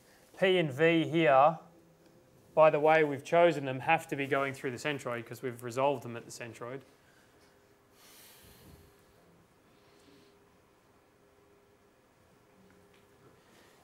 And then the moment is divided based on the distance from the centroid to a line, a line perpendicular to, to the fastener from the centroid. So that, that radius there. Okay.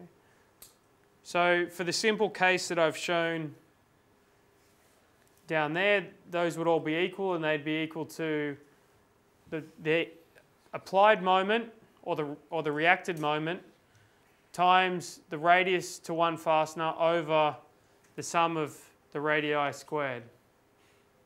Okay, sorry, there's a mistake in that formula.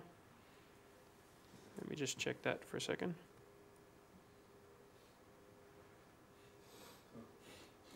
No, that's right. No, the formula's right. Because on top we have a moment times uh, a distance, and on the bottom we have a distance squared, so we end up with a force. Yes. That's right.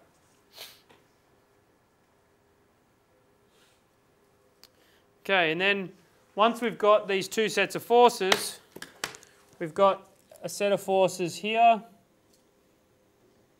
and a set of forces here. We add the two together to work out what the total force on each fastener is.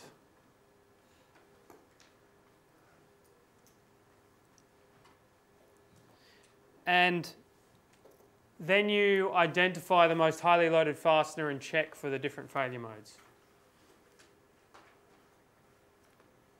Okay, so because we've got a moment, not all of our forces in the bolts are going to be equal anymore.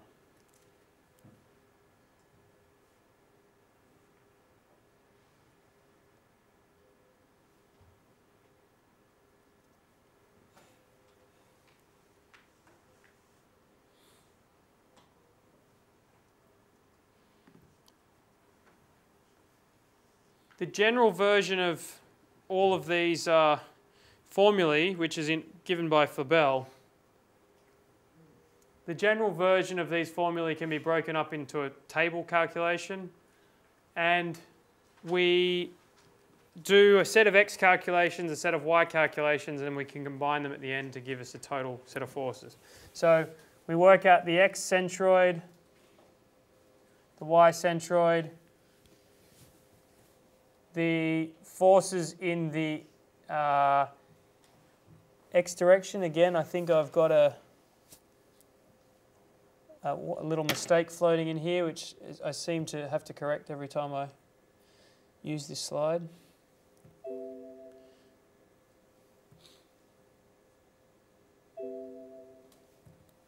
Um, sorry.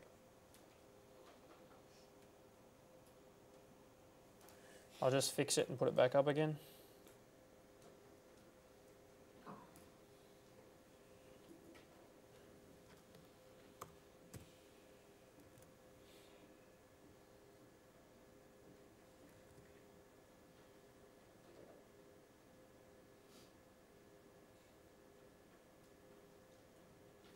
Okay, so I changed in here, I changed um, to a V in there if you've got a copy of the notes going around because there was a, there was a P in there. Okay, so we have a, a vertical and a horizontal component of uh, forces, shear forces.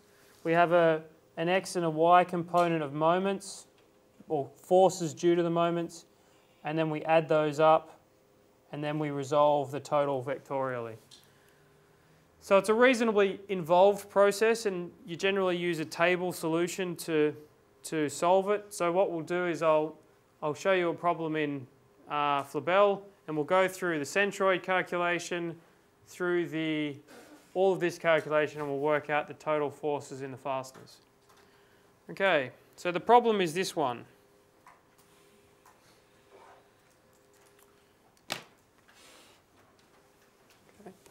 And I've got another picture of it here in Flabel.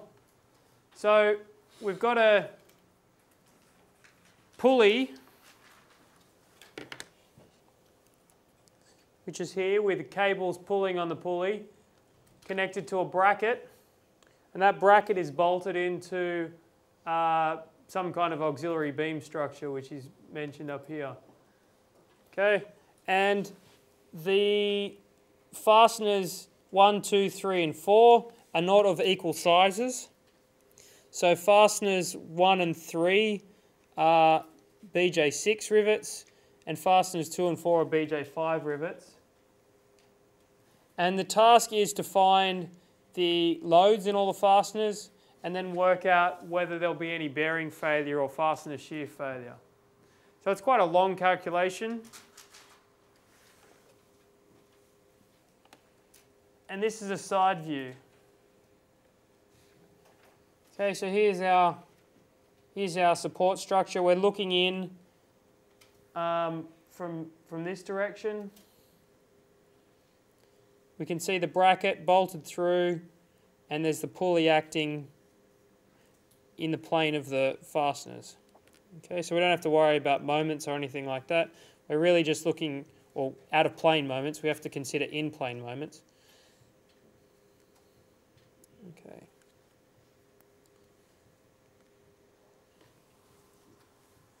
So, I'll turn this off.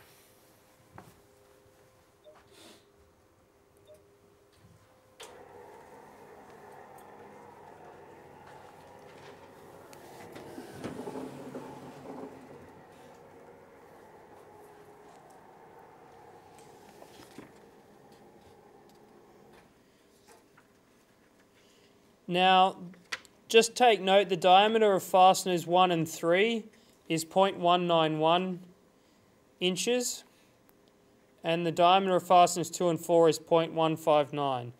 And if they sound like strange numbers, it's because they're slightly undersized based on a standard fraction of an inch. So 0.191 is probably, uh, let me think about how many, what fraction that would be. But they're, they're un slightly undersized on a particular fraction of an inch. Okay, I, I can't tell you what fraction that is off the top of my head. Okay, so the first task is to work out the centroid.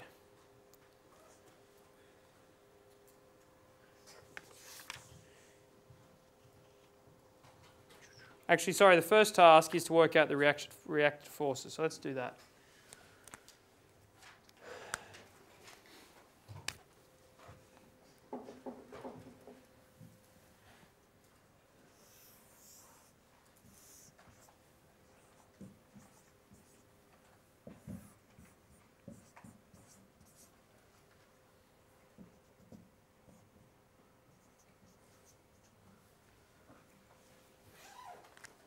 Okay, so on our pulley, we want to work out what force the bracket has to apply to our pulley to keep it in equilibrium. Then the next, we do an equal and opposite sum, and the force that the, the bracket applies to the pulley is equal and opposite to the force that the pulley applies to the bracket.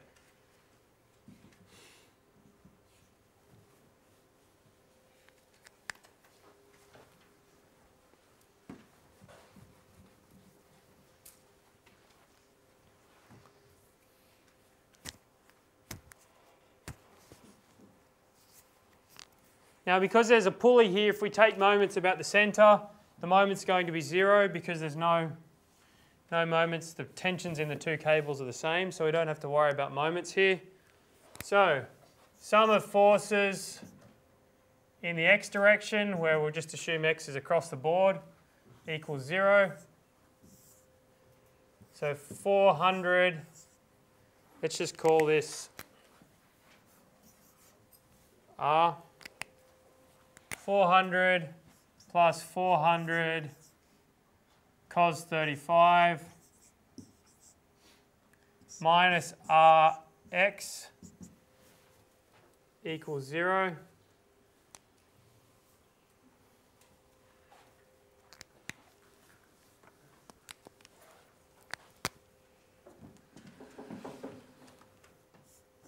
Rx equals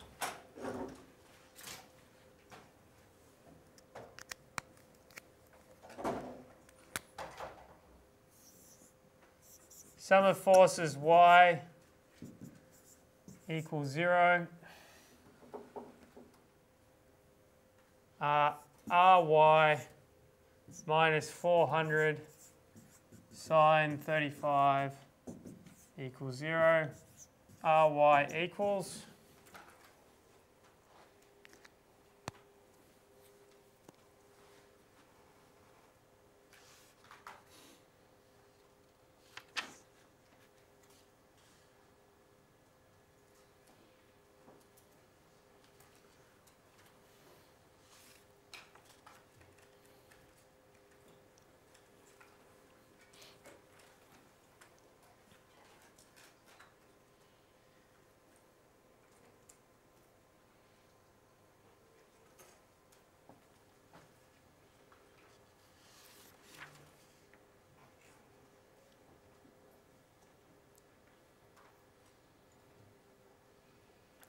I've got 728 and 229.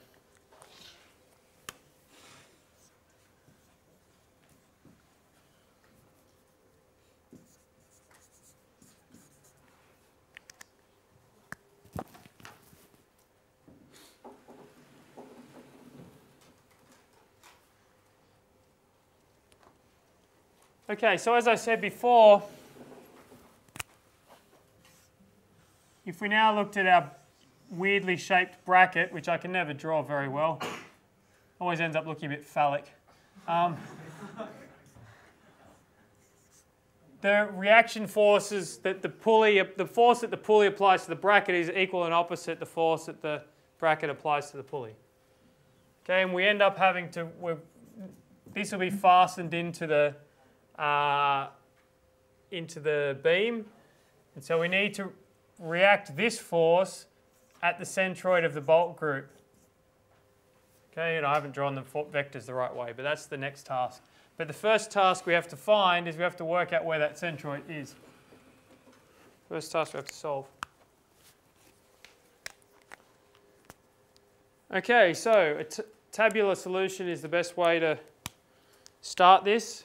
And we have to find the centroid relative to something. We're, we're not finding the centroid in an arbitrary space. We're finding it relative to a particular fastener. So the easiest place to start is one of the fasteners and find it relative to that. So if we say find it relative to fastener 2. So it's generally good practice if you're writing exam paper to actually say what you're doing.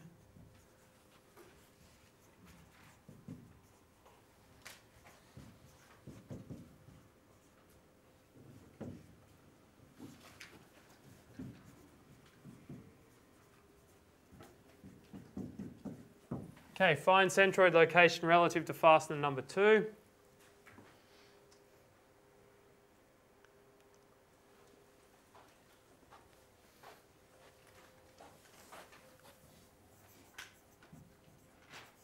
Using table. Okay, so what fastener one, two, three, four. We need their diameter, we need their x, their y, d squared x,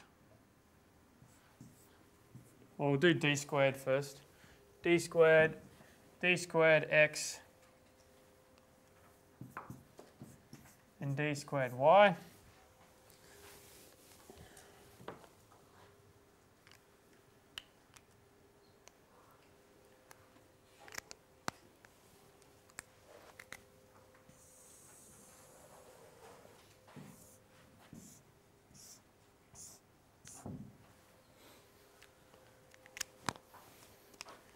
Okay, I already said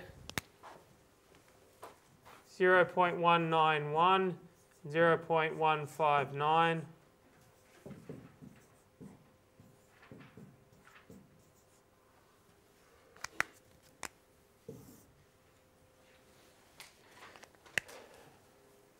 Okay, so let's go through this. Relative to fastener 2,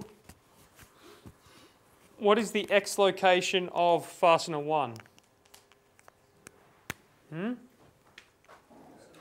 0. What's the x location of fastener 2 relative to fastener 1? Oh, so relative fastener 2, sorry. 0. 3 and 4? 1.2.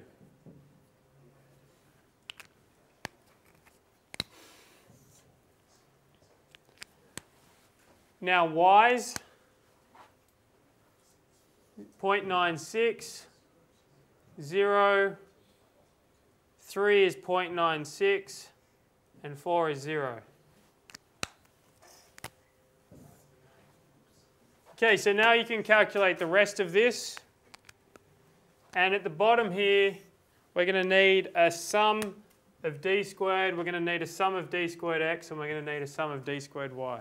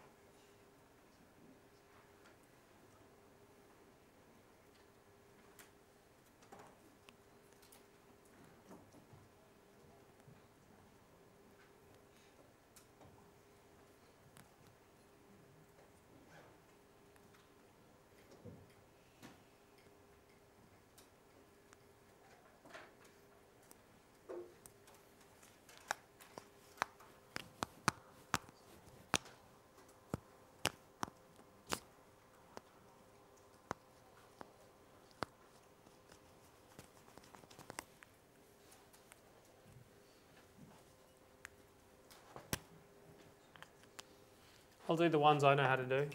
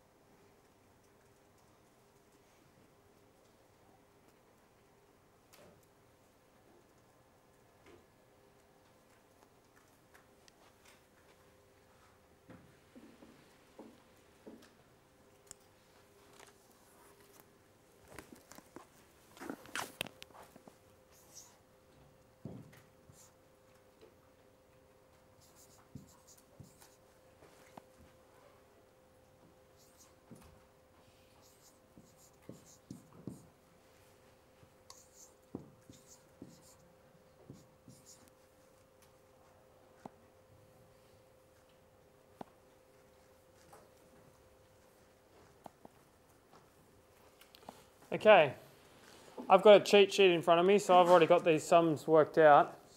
Um, yeah, it's good if you can get the same value because I'm pretty sure Flabel's got this one right.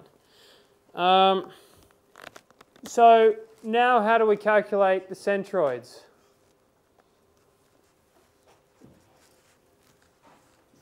x equals sum of x bar or xcg, sum of d squared x over sum of d squared y bar sum of d squared y over sum of d squared. So we do the two divisions.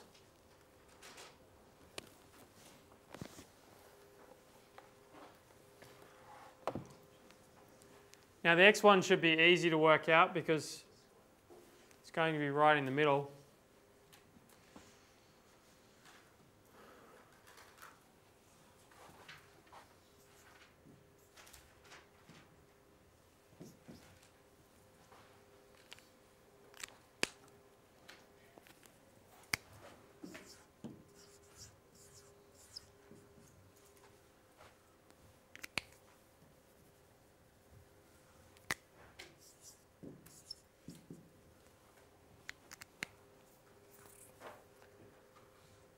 Okay, so the XCG is 0.6 inches and the YCG is 0.56 inch, 66 inches, both positive, which means that they're both to the right and above fastener 2, which is what you'd expect. You know, the centroid is not going to be outside the bolt group, it's going to be somewhere in the middle.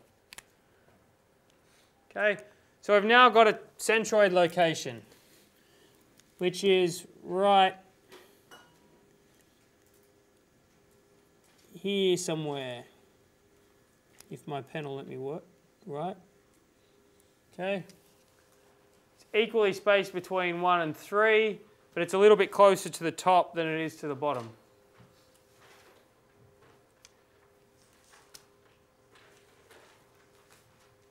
And we've resolved our pulley forces to 728 this way. And what was the other value? 229 that way.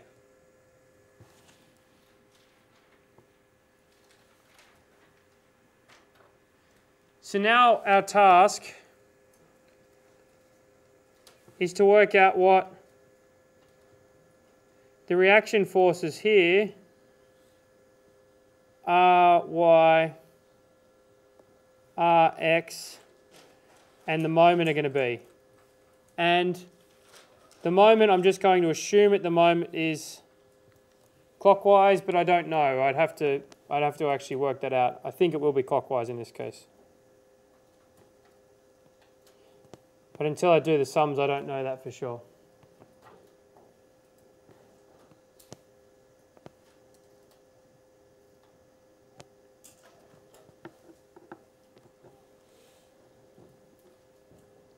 So what's our y going to be?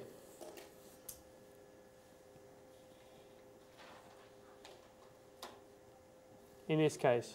Yeah, what's Rx? 728. They're easy to do. The moment's a little bit trickier. Okay, so we need a moment equilibrium equation.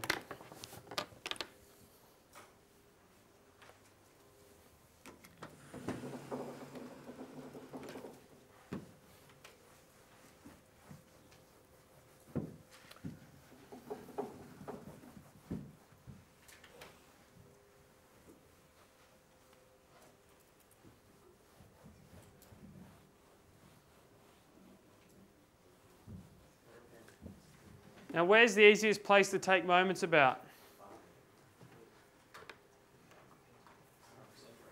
Yeah, generally the centroid, just so we can get rid of the two reactions. Okay. So, sum of moments about the CG, clockwise positive equals zero. Always useful to write in what you're actually doing with your calculation.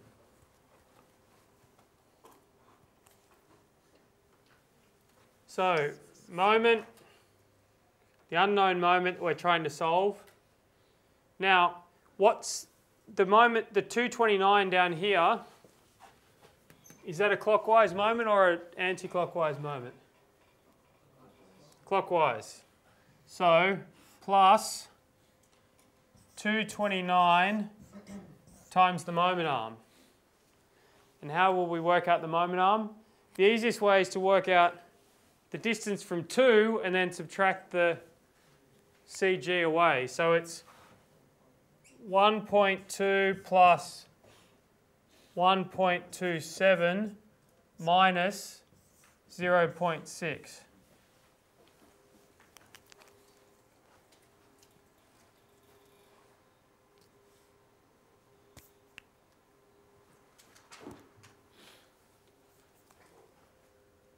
Now the moment of the, the Rx at the bottom, or the force at the bottom, is going to be anti-clockwise, so it'll be negative. Minus 728 times, in this case we're going to have 1.65 plus the CG, which was 0.566 equals 0.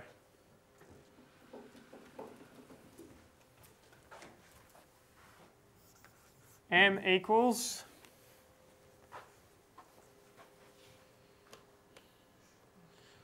I've got 1185 inch pounds.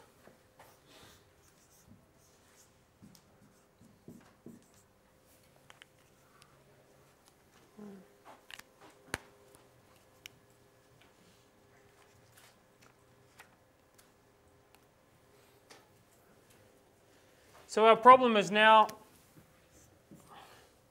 to take these fasteners, one, two, three, and four, and apply to them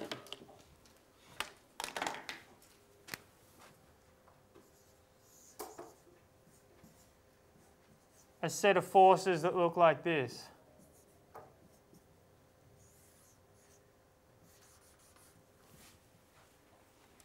And work out how each of those fasteners shares that set of forces.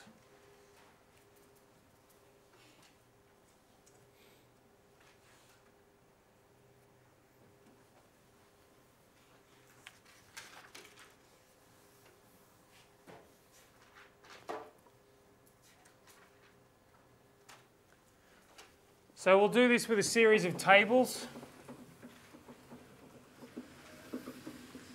And most of the tables end up, they look fairly similar to start with, and then they have different columns in them towards the end.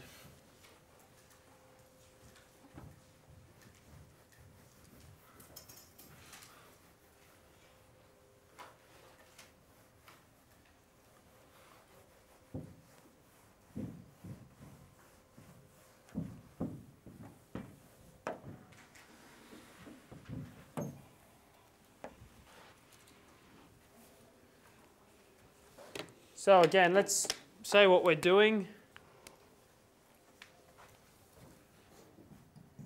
Find x component of shear force from uh, Rx.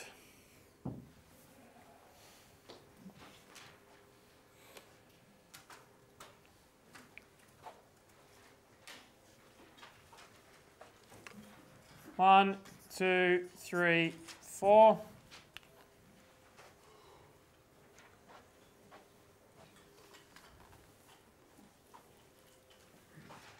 d d squared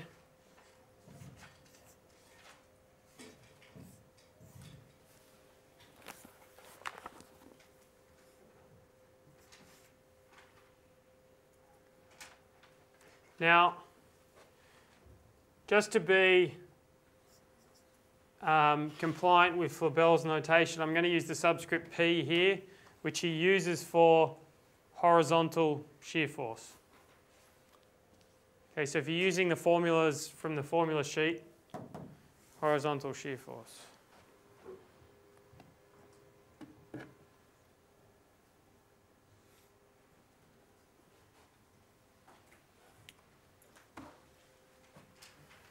So 0.191, 0.159,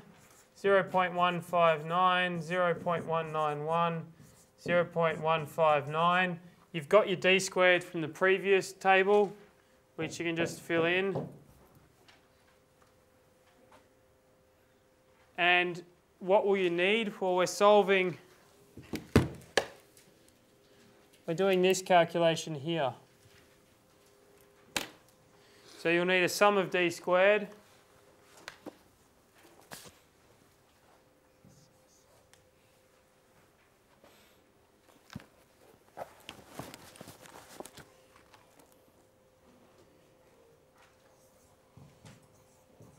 which you had from before. And then each force is the external force times its own d squared divided by the sum of d squared. So let's just do the first one. So for 1, d squared is 0.0365.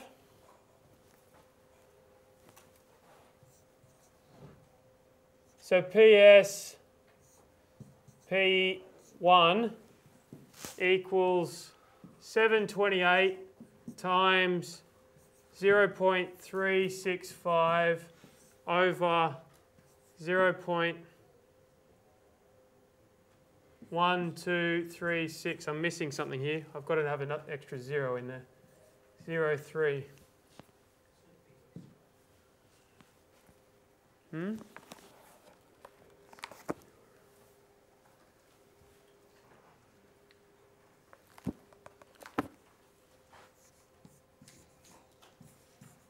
So that should equal 215 pounds.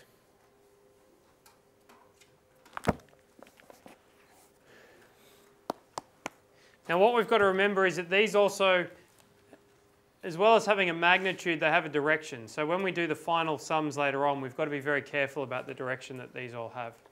So the moment we don't need to worry too much, but when we get to the final summing everything up, direction will really matter.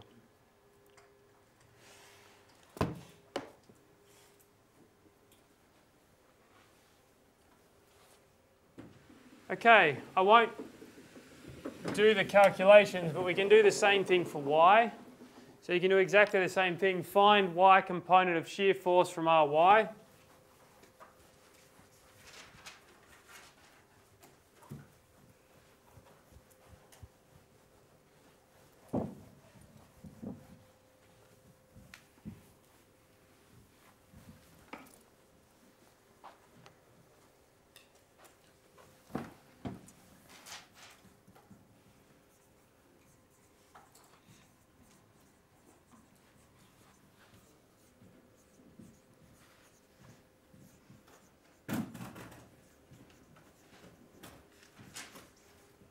So the last thing we have to do is find the components of shear force from our moment.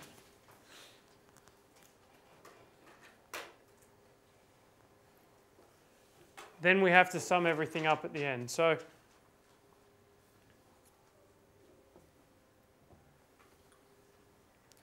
The moment calculation is a little bit trickier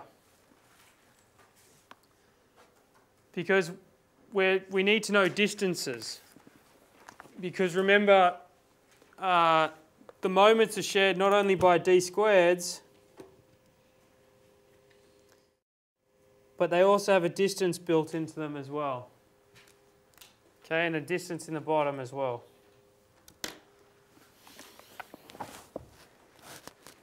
So the table looks slightly different.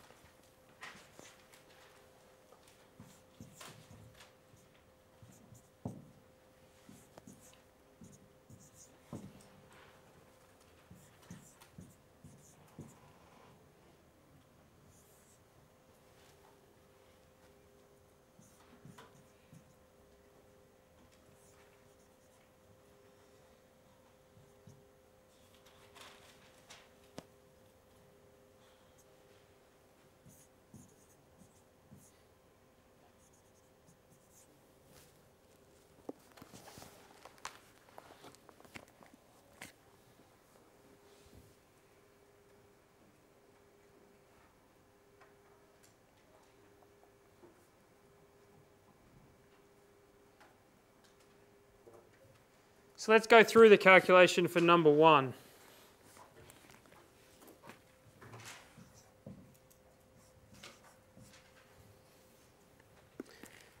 Now, the, this x bar is the distance from of number one from the centroid in the x direction. So it's 0.6. We're not going to worry about moment directions at this stage. We'll assume everything's positive and when we get, come to do our sums at the end, we'll work out what direction they're facing.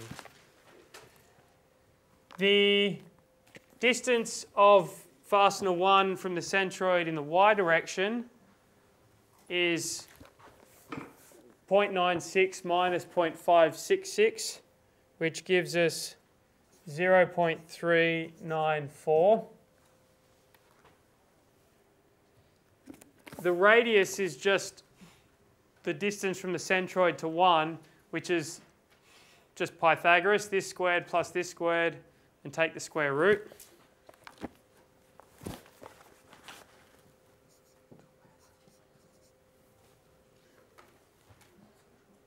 d squared x bar we can calculate, d squared y bar we can calculate.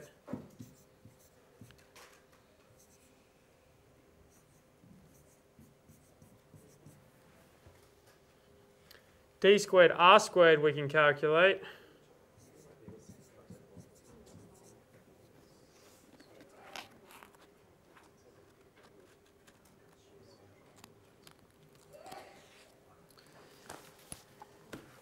Now let's do the sample calculations for the two forces. So the two forces,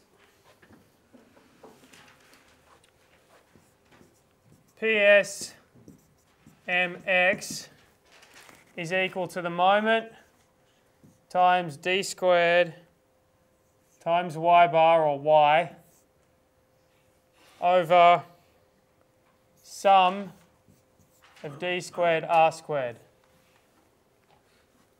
So I'll tell you the sum of d squared r squared is 0.072.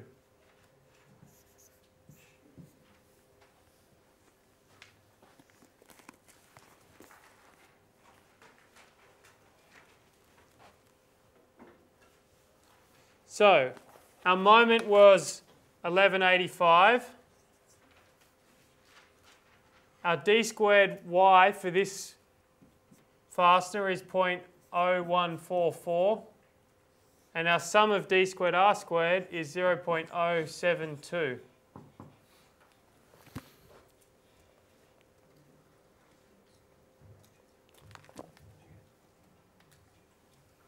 Which should come out to be 237 pounds.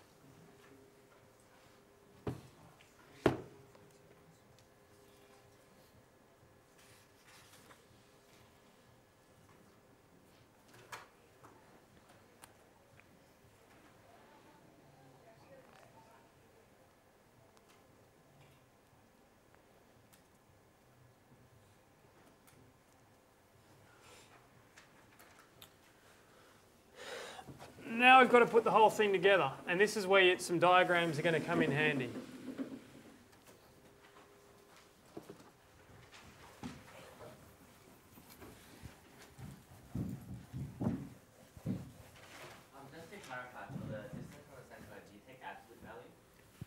Uh, for that R? Um, yeah, so for the moment we're just taking everything absolute value and we'll look at we'll look at signs in the last like when we put it all together. So everything's just positive at the moment.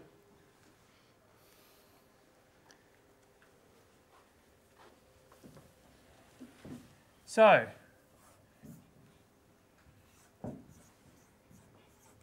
let's look at where our x forces are coming from.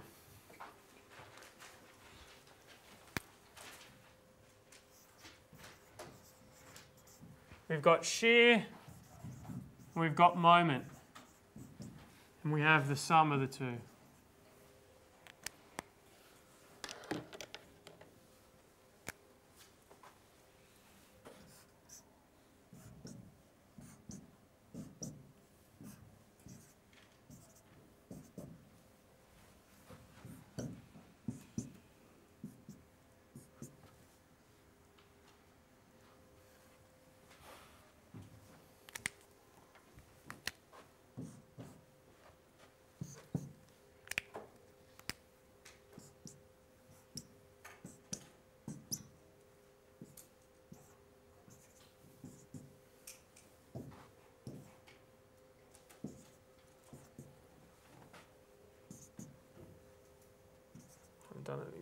Here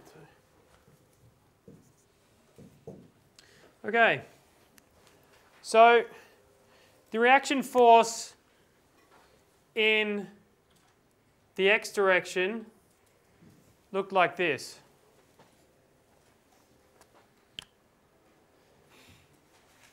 So depending on whether we consider the forces that the brackets apply to the bolts or the bolts apply to the brackets, it doesn't really matter, but as long as we're consistent, I'll use Flabel's uh, case now. So what we're trying to find is the forces that the bolts apply to the bracket.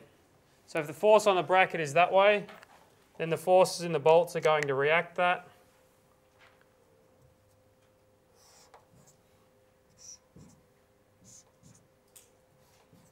Doesn't matter whether you do reactions or uh, res resultants as long as you're consistent. So the x forces, if the reaction force was pointing to the left, the x forces in all the fasteners are going to be to the right. Now the moment,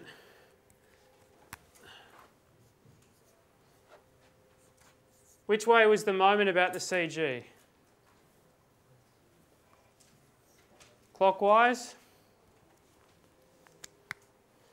So which way the x component force is going to go, if they're reacting that, well at the bottom they're going to be going to the right, and at the top they're going to be going to the left. So this is why I say we don't worry about signs when we're doing the tables, we just work out our signs now.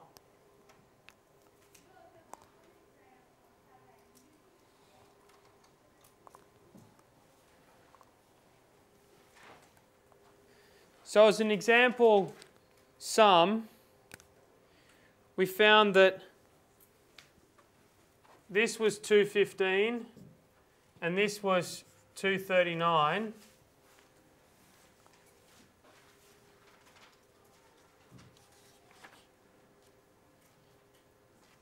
Or 237 maybe.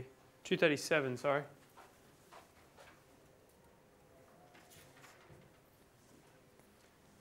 So what's the total X force on fastener 1?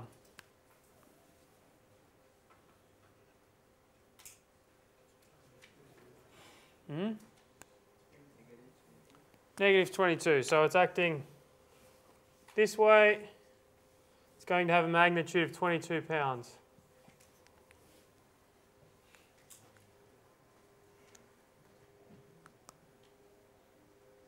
And you can do that for all the x's.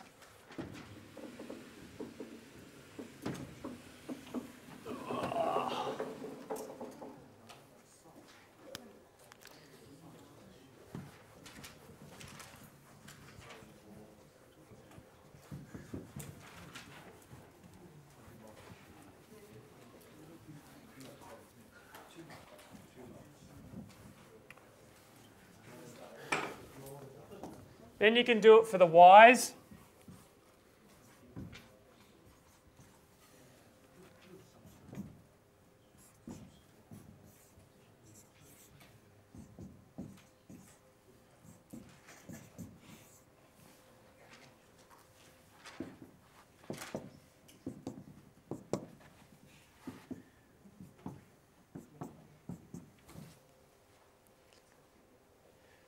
Now the y forces, if the reaction was this way, the force on each of the fasteners is going to be downwards.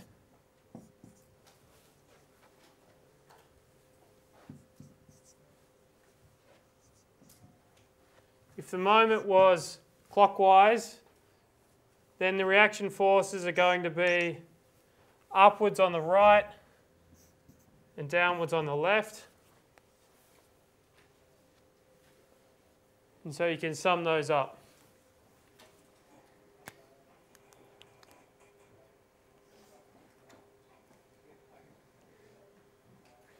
Then you do a sum of this right-hand column. So if you've got x's plus y's equals the total vector of force. Okay, so you get x due to shear force, x due to moment, y due to shear force, y due to moment, the total sum of the x's, the total sum of the y's, and then the total vector sum of the x and y. So you end up with some very big tables.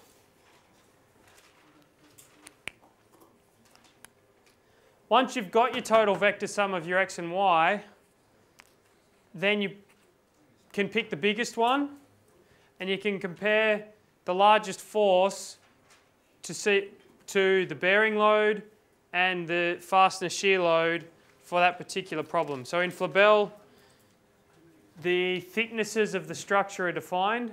So I've defined the thicknesses here.